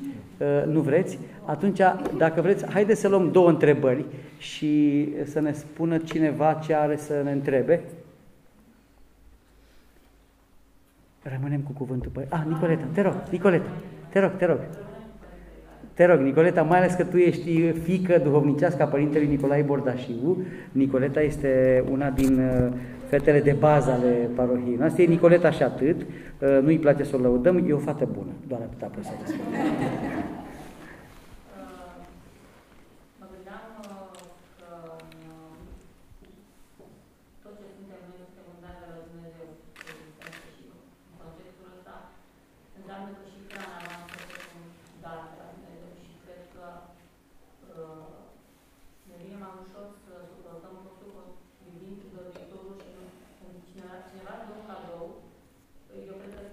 normal ar fi să iubești mai mult persoana care îți dă cadou decât obiectul în sine, care este călător, se strică, este limat sau perimat sau se poate spune. Și vă gândesc că o curință în uh, ținerea postului ar fi uh, să reducem aceste poste alimentare care sunt aparte la toată lumea, din iubire față de Dumnezeu, pentru că El ne-a dat hrana aceasta și atunci cred că am putea uh, locui cantitatea, să zicem,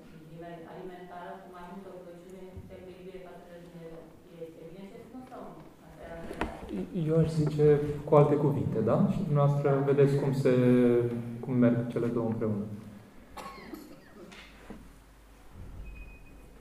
E, vedeți, Dumnezeu lucrează prin firescul nostru și ne poartă spre suprafiresc, dar într-un mod firesc. Dumnezeu știa că avem nevoie de mâncare. Ne da mâncare, numai că ne dă o mâncare duhovnicească. Um, oamenii se căsătoresc, așa i-a făcut Dumnezeu să facă. Le-a dat binecuvântare și le-a dat posibilități ca ei să se împlinească prin asta și să dobândească mai mult decât simpla întâlnire între două exemplare ale speciei umane, să dobândească cerul. Așa. Uh, i-a îmbăiat, i-a uns cu un de lemn. Le-a dat posibilitatea de a gusta din tot ceea ce este în jurul lor. Gustatul acesta nu e numai alimentar, este în multe chipuri. Chiar uitasem să, să spun de aici, era un cuvânt foarte frumos că omul mușcă, mușcă cumva din lumea din jur. Părinții filocali uh, spun așa că fiecare simț al meu e ca o gură care mușcă din lume. Cu simțurile mele deschise, eu mușc din lume diverse conținuturi și le metabolizez și ele devin parte din ființa mea. Ceea ce este însă uimitor în viața bisericii este că Dumnezeu ne aduce să-L gustăm pe El. Deci, miezul a ceea ce se întâmplă în viața bisericii este cina euharistică, este Euharistia. Noi îl gustăm pe Dumnezeu. Însă diferența, spune cineva foarte frumos, cred că de la Capasila încoace, este că nu noi îl asimilăm pe El, ci El ne asimilează pe noi. Adică noi devenim trupul lui Hristos. Noi îi dăm niște lucruri trecătoare și perisabile și așa mai departe. Ce ne dă El în schimb? Lucruri neperisabile. Și atunci rostul postului și revenind spre Sigur că, în ultimă instanță, toată gustarea aceasta ne obișnuiește cu gustarea celui care, prin toate acestea, de fapt, suferă El însuși. Deci mai devreme sau mai târziu trebuie să ajung la El. Sigur că îl iubesc pe El odată ce dă într-un mod în mine care nu seamănă cu nimic omenesc. Și vă ilustrez acest lucru. Gândiți-vă ce face Duhul Sfânt în nou. Noi cât de cât ne cunoaștem sufletele așa, cei care interacționăm și suntem din familie. Dar gândiți-vă la cineva care vă cunoaște sufletul așa cum nu vi-l știți nici singur. Ce capacitate are de a da ceva exact care se mulează pe sufletul nostru. Asta este Duhul Sfânt, asta face. Deci capacitatea lui Dumnezeu de a da ca și mulare pe realitățile noastre sufletești nu are niciun echivalent, nici dinspre satana, care le mai dibuie el așa, dar nu le nimerește neapărat, și nici dinspre om, oricât ne-ar iubi acela, pentru că ne cunoaște mai curând din exterior spre interior. De aceea spunem că Duhul Sfânt este mângâietorul prin excelență. Pentru că felul în care poate să se plieze El pe realitățile noastre nădăruiască este cu adevărat un rai care nu are echivalent cu tot ce se întâmplă în jur. Oricum ar da oameni. Și atunci, sigur că implicit, și vă dau dreptate, ajung să-L iubesc pe Cel care dăruiește. Dar vedeți, Cel care se dăruiește nu rămâne niciodată la o distanță față de mine, că prin darurile pe care le proiectează către mine, El tot mai mult se invită El personal ca prezență în viața mea și îl trăiesc pe El. Și mă trezesc pe simțite sau pe nesimțite, că de fapt îl port în mine, că mă familiarizez cu El, că El e din mine. Și vom veni și vom locui în El. Da? Și, de fapt, ăsta este inclusiv postul sau, de fapt, tot ceea ce duce în viața bisericii, că ne trezim niște casnici al lui Dumnezeu. Și ca să închei cuvântul, Arhimandrit Sofronie Saharov, care un sfânt contemporan, la un moment dat, fiind cu un cenic, nu știu, stăteau de vorbă, se mișcau așa, și la un moment dat izbucnește în râs și spune Dumnezeu că am nebun. Uite ce a putut face din mine. Și el era la capătul unei vieți de devenit în Hristos, sigur că un om care transpărea prin el prezența Duhului și așa mai departe. Dar uh, sunt convins că există, pe lângă implicarea a fond, ca să spunem așa, din partea Arhimandrii Sofronii Saharov în viața în Hristos, deopotrivă uimirea existențială, ce poate să facă Dumnezeu din mine, eu ăsta care mă știu cum eram. Cu toții cred că se întâmplă așa dacă ne punem pe drum.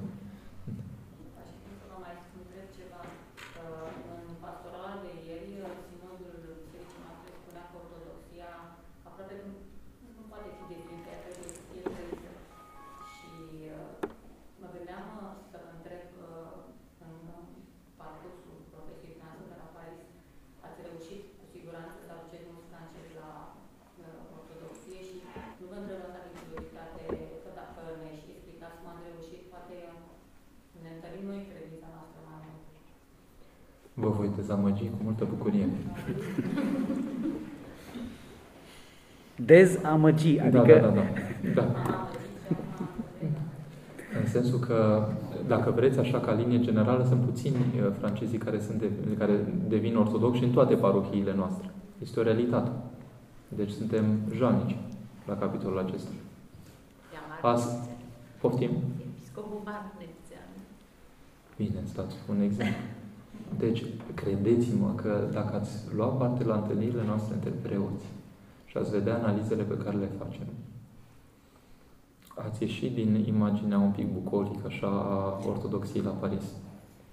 În sensul că suntem într-o țară care se decreștinează în ritm rapid, și în care nu avem nici măcar garanția că copiii sau copiii copiilor noștri vor mai ști ce e Hristos în următoarele câțiva zeci de ani.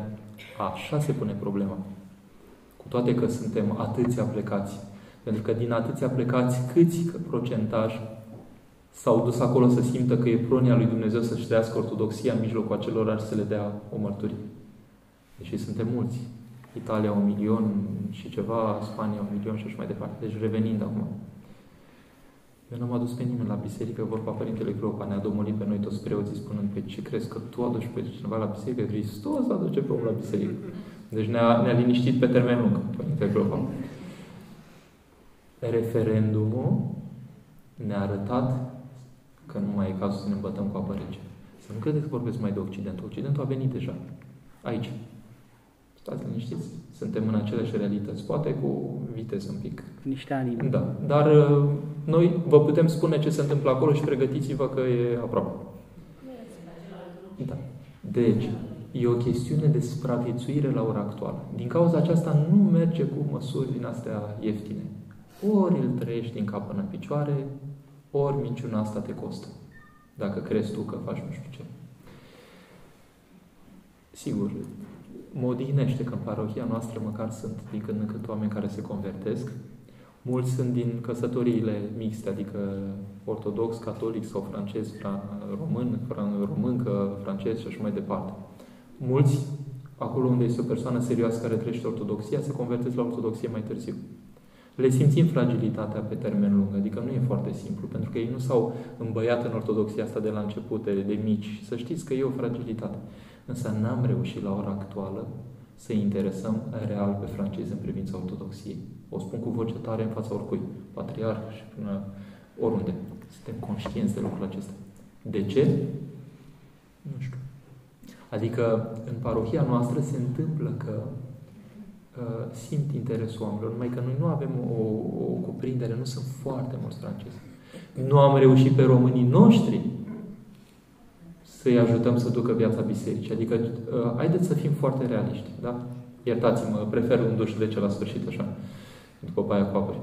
Uh, câți credeți că încapă bisericile din București, din toți cei care sunt pe aici? Eu am făcut un calcul, vă rog, am făcut un calcul. Deci sunt 323 de biserici și dacă îți intră în medie 200 de oameni într-o biserică, sunt biserici în care sunt 500 de oameni, biserici în care sunt 20 de oameni, biserici în care sunt 100 de oameni, biserici în care încap 600 de oameni. Deci, pe, pe medie, da? Deci dacă punem o medie de 200 de oameni, înmulțit cu 323, ne dau 60 de mii, 70 de mii. Hai cu Ă, așa cu multă bunăvoință, să zice, 80.000 de oameni vin într-o duminică, pleacă de acasă, din capitala țării și merg și intră într-o biserică. 80.000 din 2 milioane jumate. Procentual sunt, cine știe matematică, deci din 2 milioane jumate, 10% înseamnă 200, 7%? Încă, încă stați bine. Da? Deci deja e bine, e binișor. Gândiți-vă că la Paști se triplează sau Sigur, nu știu ce. Da, mult mai. Așa și la noi. Odată în altul s-a trezit cu o masă de oameni așa la Limur, la Mitropolie și n-a rezistat, i-a întrebat, voi de unde veniți? De unde sunteți? Că nu vă văd niciodată. Marea majoritate. Știți că problema se mai pune și așa. Cum de nimeriți? Și cum de... și ce faceți în restul timpului? Și unde sunteți? Da? Deci, revenind acum. Catolici, de exemplu, nu ocupă mai mult de 2, 3, 4% procent cu toate bisericile lor, Parisul fiind uh, miezul operațiunii.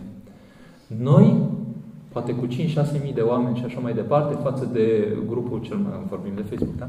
Uh, grupul cel mai mare de Facebook din regiunea pariziană, parizienii, da? are 90 de mii. Hai să spunem că 90 de mii, 100 de mii, nu știu cât și așa mai departe. 5 mii de noștri suntem sub 5%. 5%. Da? Deci asta e cam peste tot în principiu hai dacă sunteți mai bine aici, dar e România, atenție, țară majoritar ortodoxă și așa. Deci nu ne mai putem îmbăta cu apă rece. E o chestiune de, de supraviețuire a noastră în Occident, pentru că ai mei copii, deși suntem pe actele de România, ei se simt francezi, deci ei se vor legitima ca francezi întâi de toate. Dacă nu dăm o coloană ortodoxă, o coloană vertebrală care să străbată în generațiile, nu vor ști ce cu ei și am vândut viitorul copiilor noștri pentru că nu știm ce se mai alege de ei. Nu știu dacă vă provoacă frisoane lucrul acesta, dar mie îmi provoacă să știu că în două, trei generații oamenii ăștia nu mai vor să știe de Dumnezeu, că nu mai au de unde, că nu mai e așa. Însă și aici e la fel. Deci, singurul lucru pe care pot să spun la ora actuală este că ceea ce am făcut știe Dumnezeu și nu strigăm cu voce tare, uh, sigur că sunt și lucruri care ne mângâie, dar toată lucrarea este de la om la om, de la om la om. Puneți-vă problema doar atât, dumneavoastră. Într-o viață întreagă ați reușit cu adevărat, determinat, pentru viața măcar unuia sau doi sau trei, să-i ajutați să descopere viața bisericii. Așa se pune problema. Suntem într-o populație de șapte miliarde. Gândiți-vă că dacă am oferit, cum să spun, modul protestanților de a ieși către oameni, ei și riscă martiriu în multe zone ale așa, nu ca noi suntem așa. Mor, mor. Eu am văzut în Corea unde am fost ce martiriu s-a în Corea de Sud chiar până să fie. Uh, deci, mentalitatea noastră de o gradă, de lasă că e bine că e biserica plină, e dramatică pentru noi. Ne costă scump, foarte scump. Ei, Facebook-ul vă dau un rol pentru el. Eu îi încălzesc și pe ceilalți mai pe un cerc mai larg. Nu se știe din ei, cândva, cine se apropie un pic mai tare, pentru că deja a văzut că preoții sunt nu cum credea, nu cum nu știu ce, patriarh poate nu cum credea, nu cum nu știu ce, și mai departe. Din aceștia s-ar putea la un moment dat să se nască cei care încep să descopere să ducă viața bisericii. Nu intrăm în amănunte, am situații în care i-am dat premiul al trei, era numărul 2000 sau numărul 3000 printre prietenii mei pe Facebook și îi spun, trebuie să dau un premiu, că ai așa scrie părinte, nu m-am spovedit niciodată. Vreau să mă spovediți. Vai, am avut o asemenea mângâiere, a doua zi l-am primit, am zis, vino, nu știu dacă mai, de atunci nu am mai venit, dar s-a întâmplat ceva. Deci, de asta spun că asta este o, o unealtă, o unealtă. Nu priviți altceva, că nu suntem în nu știu ce epocă ne mai pune. E o unealtă. Dar important e contactul ăsta uman, de la om la om. Dacă cumva suntem în mentalitatea asta că nouă ne e bine și mai vedem ce se mai întâmplă cu ceilalți, s-a terminat. S-a terminat cu toții. Nu numai cu ei, cu toții. Eu nu cred Vă rog, puteți să o faceți. Vă rog. Pentru că m-am născut înainte de comunism cu 2, 3, 4 ani. Uh, părinții mei, mă rog, au făcut închisurile cele mai grele și nu mi-au spus absolut nimic, nimic, absolut nimic.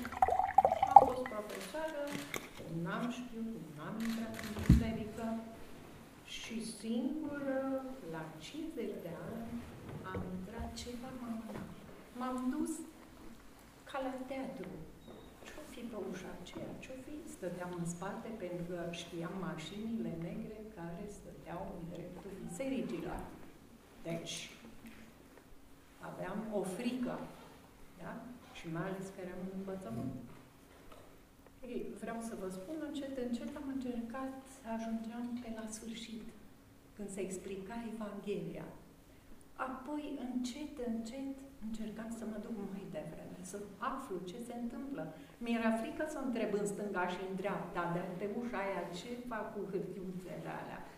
Ce se întâmplă? Și vă spun că am mers un an, doi, fără să mă spovedesc, că nu știam. Frica. Și în biserică mi-am fracturat piciorul, începând postul de Crăciun. Și pe urmă, încet, încet, dar după ani mi-am dat seama că intram în un murdar în biserică, Dumnezeu nu permite așa ceva. Cum, cum a spus? Intrați cum? un murdar. Auziți, eu nu am duhul contrazicerii, dar să îngăduiți acum totuși să spun. Da, eram nespovedită. Făcusem foarte mult. Am înțeles situația. Repet, nu e ca și contrazicere, dar ia gândiți-vă un pic. Din mulțimea prostituatelor din Egipt, câte au fost Maria Egipteanca? Deși ea este o figură absolut exemplară pentru noi.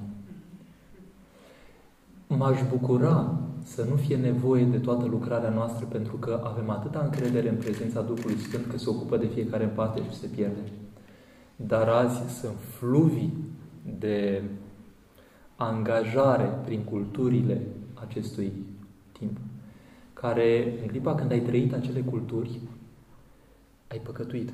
lași în spate praf. Și oamenii se hrănesc masiv cu asta. Deci noi ce facem cu aceste instrumente este să oferim foarte puțin, ar trebui să fim și mai prezenți, mult mai prezenți. Păi lumea este plină de mărturia, de mărturia și de chemarea la a gusta lucruri care nu sunt mântuitoare. Și noi suntem foarte firavi. E minunat că s-a întâmplat cu dumneavoastră și cu mine s-a întâmplat. Și poate mai sunt nu știu câți așa. Dar noi nu ne permitem luxul să ne imaginăm că în mod automat se întâmplă cu toată lumea. Trebuie să veghem și să vedem care sunt nevoile acestei lumi. Iar noi, ca preoți, uh, îndrăznesc să spun și cu cuvinte tehnice, trebuie să avem un plan pastoral, adică să ne uităm. Campusul de studenți, biserica plină, mai ales înainte de examen, au dat lovitor. Câți e campus? S-a umplut biserica.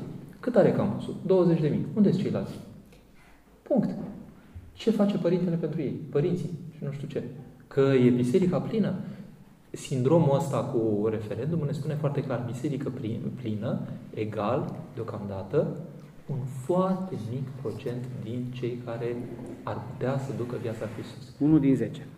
Exact. Ce fac pentru ceilalți? Cine sunt pentru ceilalți? Cum mă străduiesc eu ca să-i aduc? Noi nu reușim. Deci noi ce vedeți? Noi facem un fel de heirup așa uh, social și devenim un fel de spectacol lumii și facem circul acesta, câteodată circ, dar e, cum să spun, cât e binecuvântare, e minunat. Dar, ia gândiți-vă ce forță am avea ca fiecare de aici să spună, domne, în doi ani îmi propun să ajut pe cineva care nu simte, nu are o simțire duhovnicească. Hai să-l ajut să se deschidă spre realitatea asta. Mă ocup, doi ani mă ocup de unul, cinci ani mă ocup de altul, zece ani mă ocup de altul. La capătul vieții o să pot să spun lui Hristos cu îndrăsneală. Doamne, Tu ai spus cuvântul ăla, că se vor ierta mulțime de, acoperi mulțime de păcate dacă ajut pe cineva să ajungă la credință. Nu o fac ideologic și vă răspund. Noi suntem în existențial, nu în intelectual. De aia privește trăirea. De aia se transmite prin trăire și provoacă trăire. Și ceea ce iese de la inimă se duce la inimă, ceea ce iese din trăire se duce în trăire. Dar lucrul acesta care îl facem este o pepinieră ce facem în seara asta. Noi nu ne limităm la noi. Dacă s-a întâmplat ceva valabil în seara aceasta, încep să pun întrebarea ce fac pentru frățiorul meu, pentru copilul meu, pentru aproapele meu, pentru cutare. Asta este viața adevărată în Hristos. Dacă cu adevărat a fost ceva valabil în seara asta, pe valabilul acesta vreau să-l împărtășesc celuilalt. Dacă e o direcție de drum bună, apoi să dau mărturie, deci nu e vorba de ideologie, nu e vorba de, uh, cum spunem noi, prozelitism și așa mai departe. Nu e vorba de asta. Dacă mie am descoperit comoara, apoi să spun și altuia că există o comoară. Sau să o trăiesc astfel încât celălalt să o vadă dacă cumva nu i-am spus. Asta este miza noastră. Deci și vă dau dreptate și în același timp noi nu ne-am permite să așteptăm numai că din când în când cineva s-a trezit. Și eu m-am trezit. Și eu m-am trezit. Dacă stau să mă, mă și uimesc, cine știe ce rugăciune m-a purtat. Nu va muri, da, aici aveți dreptate. Chiar dacă uh, e, sunt niște hopuri. Stați, noi nu, ne, eu nu, nu vorbesc despre soarta omenirii sau soarta creștinismului. Asta nu mă, eu, numai Hristos poate să spună. Nu e o problemă, nu asta mă îngrijorează pe mine. Eu știu atâta, sunt în generația aceasta, sunt realitățile acestea sociale, noi trebuie să traversăm această viață astfel încât cât mai mulți să beneficieze și să câștige viața cea adevărată. Punct. Pentru că ăștia sani. Foarte frumos. Vreau să vă spun că săptămâna trecută am rugat pe un enoriaș din biserica noastră.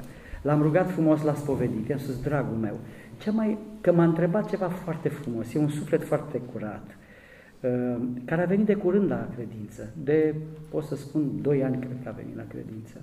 Și a venit cu toată inima lui. Și mi-a spus, părinte, ce aș putea să fac și eu în postul ăsta? Mi-a plăcut întrebarea lui. Am spus, uite, domnule, un om care întreabă. Pentru că atunci când Duhul Sfânt a venit și s-a pogorât în limbi de foc și Apostolul Petru a predicat prima predică, Duhul Sfânt s-a atins de, de Petru, dar apoi s-a atins și de toată mulțimea aia. Și știți ce a întrebat mulțimea, nu? Și noi ce să facem? Când am întrebat și noi ce să facem, atunci Duhul Sfânt a venit și în ei. E, și Duhul Sfânt a lucrat în, în ucenicul acesta al meu. Și m-a întrebat, părinte, și eu ce să fac? Ce aș putea și eu să fac în postul ăsta? Și am spus așa, dragul meu, caută la tine la servicii un coleg sau pe cineva și adu-l în casa lui Dumnezeu și vorbește-i despre Dumnezeu. Încearcă. Dragii mei, duminică a venit cu colegul lui aici. M-am bucurat, n-am putut să plâng de, de emoție, de drag. A venit cu colegul lui, care m-a salutat, care a fost luminos, care a fost minunat și care mi-a spus că are o problemă și că vrea să se spovedească. Dar asta a spus-o la sfârșitul liturgiei. Acest ucenic al meu a făcut ascultare că atunci să știți că Duhul Sfânt cel mai puternic, după botez, da? la botez Duhul Sfânt se atinge de tine și te îmbibă cu potențe, cu puteri harice.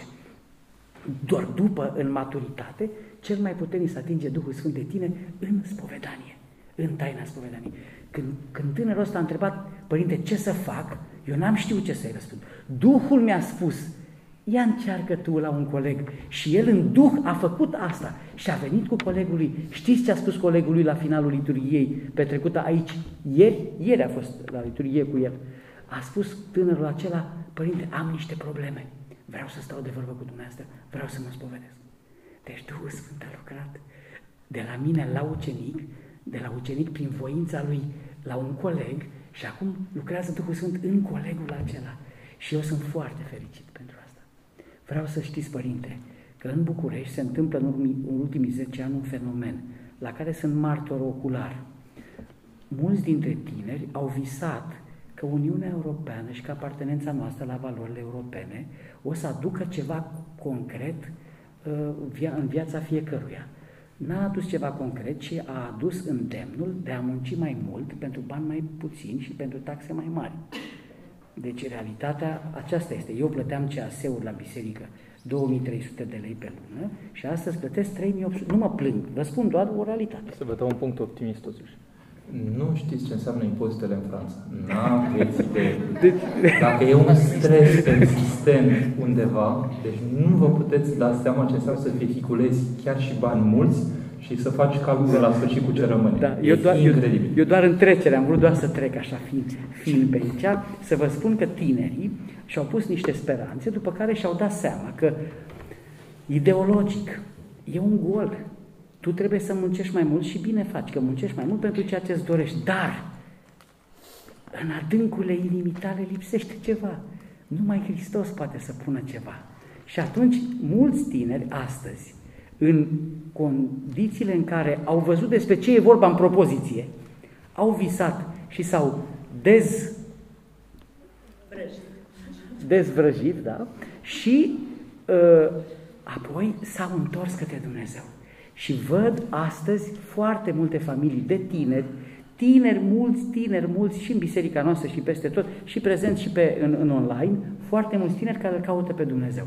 Dăm slavă lui Dumnezeu pentru asta. Deci, suntem europeni, credem în valorile europene, credem în democrație, dar inima i-o dăm lui Hristos. Da, și, și mai ales Europa asta trebuie să, să, cum să spun, deci noi cu ceea ce suntem noi în ființa noastră, cu asta să participăm în Europa. Pentru că sunt tot felul de tendințe ideologice de a marginaliza ceea ce suntem noi și a le pune pe altele în față. Aici este, este adică fiecare vine cu valorile lui și asta înseamnă o construcție europeană, că și eu particip cu valorile mele. Trebuie să avem curajul acestor, acestei mărturisiri că cărămida pe care noi o punem este foarte puternică. Poate că nu suntem conștienți de ea, dar ce, ce participăm noi la construcția europeană este ceva foarte puternic. Gândiți-vă numai că în Frankfurt pe Main, 72 de șefi de secție, chirurgi, mari profesori în medicină sunt români. Gândiți-vă că multe capete luminate în Franța, în Germania, în Italia, în, în, în UK, sunt români. Gândiți-vă că mulți români sunt marginalizați tocmai pentru că sunt prea inteligenți. Gândiți-vă la faptul că ortodoxia, acolo unde este acum mai prezentă, italienii dau biserici Uh, ortodoxilor pentru că ei au grijă de biserici și pentru că bisericile sunt, sunt pline. Veniți de acolo, noi vă vedem pe cei care sunteți acolo că puneți o cărămidă foarte frumoasă la construcția asta. Sigur că se întâmplă niște lucruri uimitoare și pentru noi, adică să fim uh, la un moment dat discutam cu un alt presimțitul și spuneam, era la 10 ani de arherie, cred, sau nu știu, în sfârșit și spun, uitați câte s-au întâmplat, câte s-au putut face. Și îmi spune, se uită la mine așa lung și îmi spune, se poate spune în ambele sensuri și cât de mult s-a făcut și cât de puțin s-a făcut. Ambele sunt valabile. Uh, sigur că sunt lucruri uimitoare și pentru noi. Adică, dacă stai să te uiți ce se întâmplă în țările acestea, este uimitor, într-adevăr, și pentru noi. De unde am plecat și unde suntem. Sigur că e o imensitate în fața noastră. Dar uh, sunt foarte, adică încerc să fiu realist. Vă rog, apropo de medici ăștia, că sunt în zona tur, cred că vreo 90 de medici care nu calcă pe la biserică, dar ei sunt medici acolo și fac lucruri nemaipomenite. Pentru că biserica e aproape în stare de, de dărâmare pentru că nu s-a avut grijă de ea și acum începem să punem la... Sigur că se vor apropia încetul cu încetul. Însă avem mare nevoie de conștiința aceasta profetică, îndrăznesc să spun. Că dacă Dumnezeu, într-adevăr, a îngăduit să fim în Occidentul acesta, cel mai mare dar pe care putem aduce acolo este să ducem ceva din, din trăirea aceasta care nu se limitează la timp și la spațiu.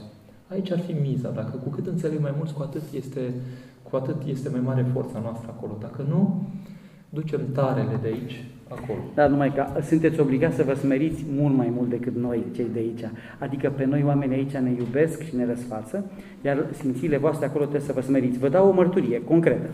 În orașul Aberdeen, plin de ingineri uh, ipegiști, cei care au terminat Institutul Petrol și Gaze, da? petroliști cu salarii de la 8-10.000 de lire în sus. Părintele se duce la biserică, constată ca și Sfinția voastră că din 90 de medici nu vine nimeni la biserică, el constată că petroliștii ăia nu vin la biserică. Dar unde se duceau petroliștii ăia? Se duceau sâmbătă la fotbal. Părintele își ia echipament de costum, își ia un tricou de la de echipa națională de asta galben așa, se duce și el acolo și zice, bună ziua, bună ziua, eu sunt uh, părintele așa, X, Marcel, părintele Marcel, vreau și eu să joc fotbal cu voi. Ăștia toți, bă, a venit Popa să joace fotbal. Popa, bă, Popa. Bă, dar unul mai tupeist, bă, Popo, dar ce ai venit tu să... Păi vreau și eu să joc fotbal cu voi. S-a smerit părintele și a su- suportat așa glumele și ironiile. Dă-i pasă la Popa, dă-i la Popa, pune-l pe Popa la înaintare, dă gol. Și a jucat fotbal cu ei. După ce a jucat fotbal cu ei, era un timp la bere. Și a băut și el o bere cu ei. Și le-a spus la final, dragii mei, vă rog frumos, astăzi am venit eu la voi, e sâmbătă. Mâine dimineață vreau să veniți voi la mine. Au venit toți. Toți acei ingineri care au jucat fotbal cu părintele au venit acolo. A doua zi ce face părintele Marcel? Termină liturgia, după liturgie spune, fraților, avem echipă de tineri, ingineri, veniți aici la biserică. Uh, vreau să delegăm dintre ei unul care să fie uh, epitropul. Epitropul bisericii a fost numit ăla care i-a zis, băi Popo, ce cauți tu aici? Ăla care era mai tupeist, care mai, mai organizator, care îi suna pe toți să vină la fotbal. L-a pus epitrop. Știți ce a făcut epitropul ăla din ziua aia? A încercat el să-i sune pe toți românii. Băi, haideți pe la biserică. Băi. Vedeți, asta este. mai cum. Părintele acum este, uh, este uh, un om minunat, a fost preot în Aberdeen, după aceea s-a mutat, a făcut trei parohii, parohie în Inverness Așa. și apoi în Glasgow. Și acum unde? Acum este în uh, Bârsana. Gata, îl știu. S-a întors în România. Bine. E un minunat, un da, minunat. L-am iubit foarte mult. Vedeți care în spate ani mulți de frăsinei. Adică când era copil, pentru că uh, frații lui sunt ah, da, da, da, da, da. Agaton de la... Exact, Agaton da. și cu Vasile. Au fost în Sigăstria, da. E, e, Asta. Deci, uh, adică deja, eu când frecventam Frăsineiul, l-am întâlnit, deja era acolo. Ce uh, și sigur, după aia s-a putut căsători, deci, dar s-a impregnat de toată... Însă, Uh, vedeți, lucrurile acestea sunt minunate, noi încercăm să fim realiști și, pe de altă parte, să căutăm tot felul de căi. Tot felul de căi. Dar, apropo cu smeritul și așa mai departe, uh, să știți că ne iubesc pe noi foarte mult. Ne iubesc oameni. Și vă, vă spun sincer, deci când mă duc la tur, deci aproape mi-au dat lacrimile în ultimele dăți, deci cu atâta delicatețe îmi spun, părinte, să nu, să nu vă lăsați, veniți, adică nu ne lăsați, deci veniți la noi. Vă dați seama că o singură persoană, dacă spune așa, face face demersul, adică totul, se validează totul și nu e numai o persoană. Pentru că ei știu că e greu și că încă nu suntem puși pe picioare și așa mai departe. Deci să știți că satisfacțiile sunt enorme la noi. Chiar uh, uh vrea să ne provoace fixul. Uh, pur și simplu, vă spun, avem o viață atât de plină și de bogată, cu tot felul de aspecte. Mergem în închisori, Acum s-a redeschis închisoarea din... Nu, nu intru în amănunte, am fost acolo, am făcut o primă vizită și așa mai departe. Vă spun sincer, deci uh, pentru mine a fost pasionant, o oră și ceva, deci pur și simplu eram acolo, am uitat de toată lumea, eram în prezenta închisoarea, deja șase cerere să-i văd și așa mai departe. Sigur, voi avea un fel de parohie acolo, începe. Toate schemări la muncă. Dar când te ocupi de o chestie, te ține, când te ocupi de cealaltă, te ține, când, te ocupi... când ajung seara acasă, sunt așa, dar e ca și cum ai dus filmele alea de acțiune care n-ai, n-ai putut să te oprești. Te-a, te-a prins, te-au prins secvențele și s-a terminat. Nu e tot timpul așa, dar deseori e așa. De aia, adică vreau să spun să nu ne plângeți că avem niște satisfacții imense cu lucrurile pe care le facem. Minunat. Vreau să știți că duminică vom merge și noi de aici din parohie, câțiva enoriași, în Paris. La la penitenciarul din Rahova, nu, la penitenciarul de maximă siguranță din Rahova, unde am fost chemat uh, de directorul penitenciarului care m-a rugat să vorbesc cu niște uh, oameni cu situații grave uh, suicid și așa mai departe, depresii severe și am vorbit cu câțiva și am descoperit acolo și oameni care cu adevărat s-au întors. Și eu, biserică, nu se mai slujește de o lună de zile, preotul de acolo n-a mai putut să mai reziste, e foarte greu să, să fii preot acolo. Și le-am promis că duminică voi sluji acolo și nu voi veni la biserică la mine, sper să nu se spere și mei, dar vreau să slujesc acolo. Ei selectează din 1200 de deținuți, 60 de oameni îi selectează și aduc uh, la liturghie și o să-mi iau câțiva ucenii să mergem acolo. A fost la fel o experiență extraordinară, oameni uh, departe de Dumnezeu care caută, caută o cale și din, uh, din Harul Domnului uh, îi văd că lucrează Duhul Sfânt în, în inima lor. Părinte, ne oprim. Ne oprim? nu știu. Ne oprim? Dacă ați spus așa cu noftat. Ideea este că eu am o conferință joi la Alba Iulia. Vorbesc la 400 de studenți din Ascorul Alba Iulia la Casa Studenților. Părintele mâine seară la Biserica Șerban Vodă are o conferință foarte frumoasă și interesantă, sunt convins. Nu știu ce voi spune, dar să știți că e frumoasă. mâine seară vă rog mult să nu vă faceți alt program altă temă. Îl lăsăm pe Părintele să ne vorbească. Deci mâine seară eu vă fac un promo și Părintele continuă. Veniți să-l reîntâlniți pe Părintele Răzvan la Biserica Șerva în Vodă, la bunul meu prieten Părintele Pompiliu. Deci vă spun sincer că nu știu încă ce voi evoca mâine, dar într-adevăr da, titlul știți, titlul știți. Da, știu, pentru că l-am oferit eu. Este teologie știință sau știință și teologie, două puncte, divergențe și convergențe, adică ceea ce merge împreună, ceea ce separă. Uh, Vă spun foarte onest că n-am pregătit nimic pentru mâine, dar dar am petrecut ani îndelungați cercetând problematica respectivă. Mi-am făcut o teză de doctorat în teologie pe zona de teologie și știință, uh, raportul și așa mai departe, deci cred că voi reuși să stăpânesc o oră de dialog pe tema aceasta, cu cunoștințele anterioare, fără să mai fac eforturi de azi până mâine, pentru că vom discuta mai mult la nivel de principii, nu vom intra poate în lucruri foarte... Deci, dar va fi altceva decât ce e în seara asta, dacă să înțelegeți. Acum nu vă simțiți cu nimic uh, așa, uh, cu drag, mă bucur cine vrea să vină să, să vină, uh, însă tema va fi diferită, deci va fi alt registru, deși încercarea mea este să știți că ultimul trend pe care îl simt eu așa în zona asta de teologie știință este știință și duhovnicie. Adică, de fapt, este o cântărire duhovnicească a efectelor pe care le provoacă știința asupra vieții oamenilor. De fapt, aici este miza pentru viața bisericii. Dar mi-au trebuit 15 ani ca să pun problema așa. Știți? Mai vedem. Minunat. Uh, cei care veți putea să mergeți mâine seară, uh, personal îi mulțumesc mult Părintelui pentru Acum dragostea drag. cu care a venit spre mine. Ucenicul meu, Ionuț Ungureanu, cel care este aici în spatele doamnei doctor Coșofreț, îmi spune într-o zi, mie îmi place Părintele Răzvan, la care eu îi spun și mie, la care el continuă, și nu vreți să-l invitați la noi. De asta face ucenicul care forțează părintele său spre ceva, dacă e lucrarea la Dumnezeu, se face. Tu provoacă-l. Și i-am zis, da, sigur, v-am sunat și mi-a spus că nu puteți și că îmi veți spune când veți putea. Mi-a plăcut foarte mult răspunsul, adică răspunsul a fost așa, sunt foarte prins, mi-e imposibil și să mă gândesc la tine, dar te, voi, te am în minte. A, asta a fost mesajul cu care eu am rămas. Dar te am în mintea mea. Vă spun sincer, atunci mi-am luat gândul a fost prin uh, noi, octombrie-noiembrie. Am, am zis așa, mă număr și eu printre acei mulți care îl, îl sună și îmi răspunde așa. Dar am avut o mare surpriză. M-a sunat în ianuarie și mi-a spus, Părinte, m-am gândit la tine și am o dată, 18 martie, și o temă, miza postirii.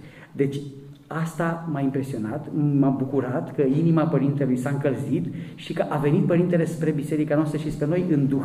Seara aceasta a fost o seară de duhovnicie și de Duh și de simțire și de trăire în adevărul dumnezeiești, dar și în adevărul vieții noastre trăite. Noi suntem în fața dumneavoastră, dar suntem ca dumneavoastră.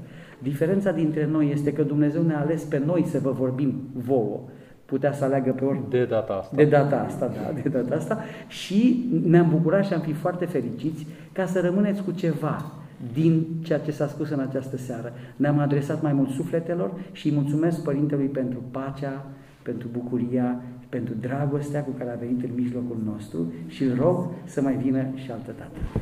Vă voi spune că exact cum am început, ați văzut cu ce am început. Pentru mine e o mare bucurie.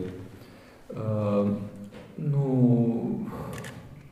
mă paște niciun risc de a fi prea mediatizat sau prea solicitat, în sensul că, vă spun, de fiecare dată când cineva îmi cere ceva, eu o simt ca o datorie cumva să răspund. Deci chiar dacă nu pot în momentul respectiv, undeva va fi un răspuns. Nu, de exemplu, că fac sfințirile în Paris, și ne iau o lună și ceva cu aghiasma mare, adică foarte mulți circuri, sunt foarte mulți la distanțe mari.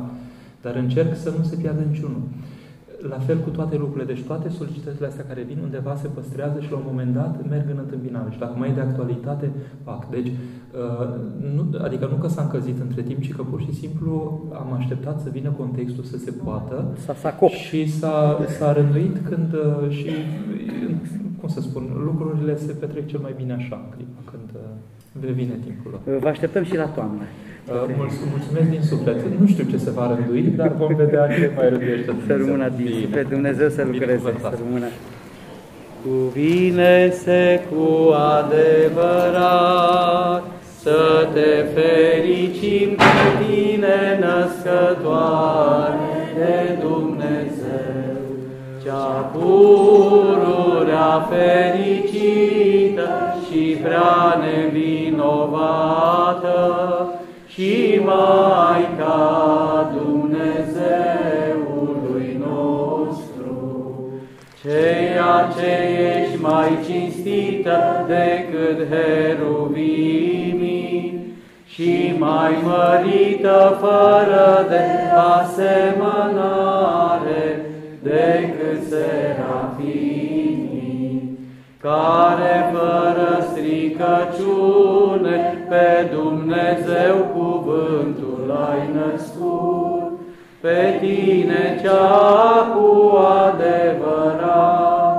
născătoare de Dumnezeu te mărim. Slavă Tatălui și Fiului și Sfântului Duh și acum și pururea și în vecii vecilor. Amin. Doamne miluiește, Doamne miluiește, Doamne miluiește, Părinte. Părinte, bine. Cu noi este Dumnezeu, cu al său har și cu a sa iubire de oameni, totdeauna, acum și pururea și în vecii vecilor.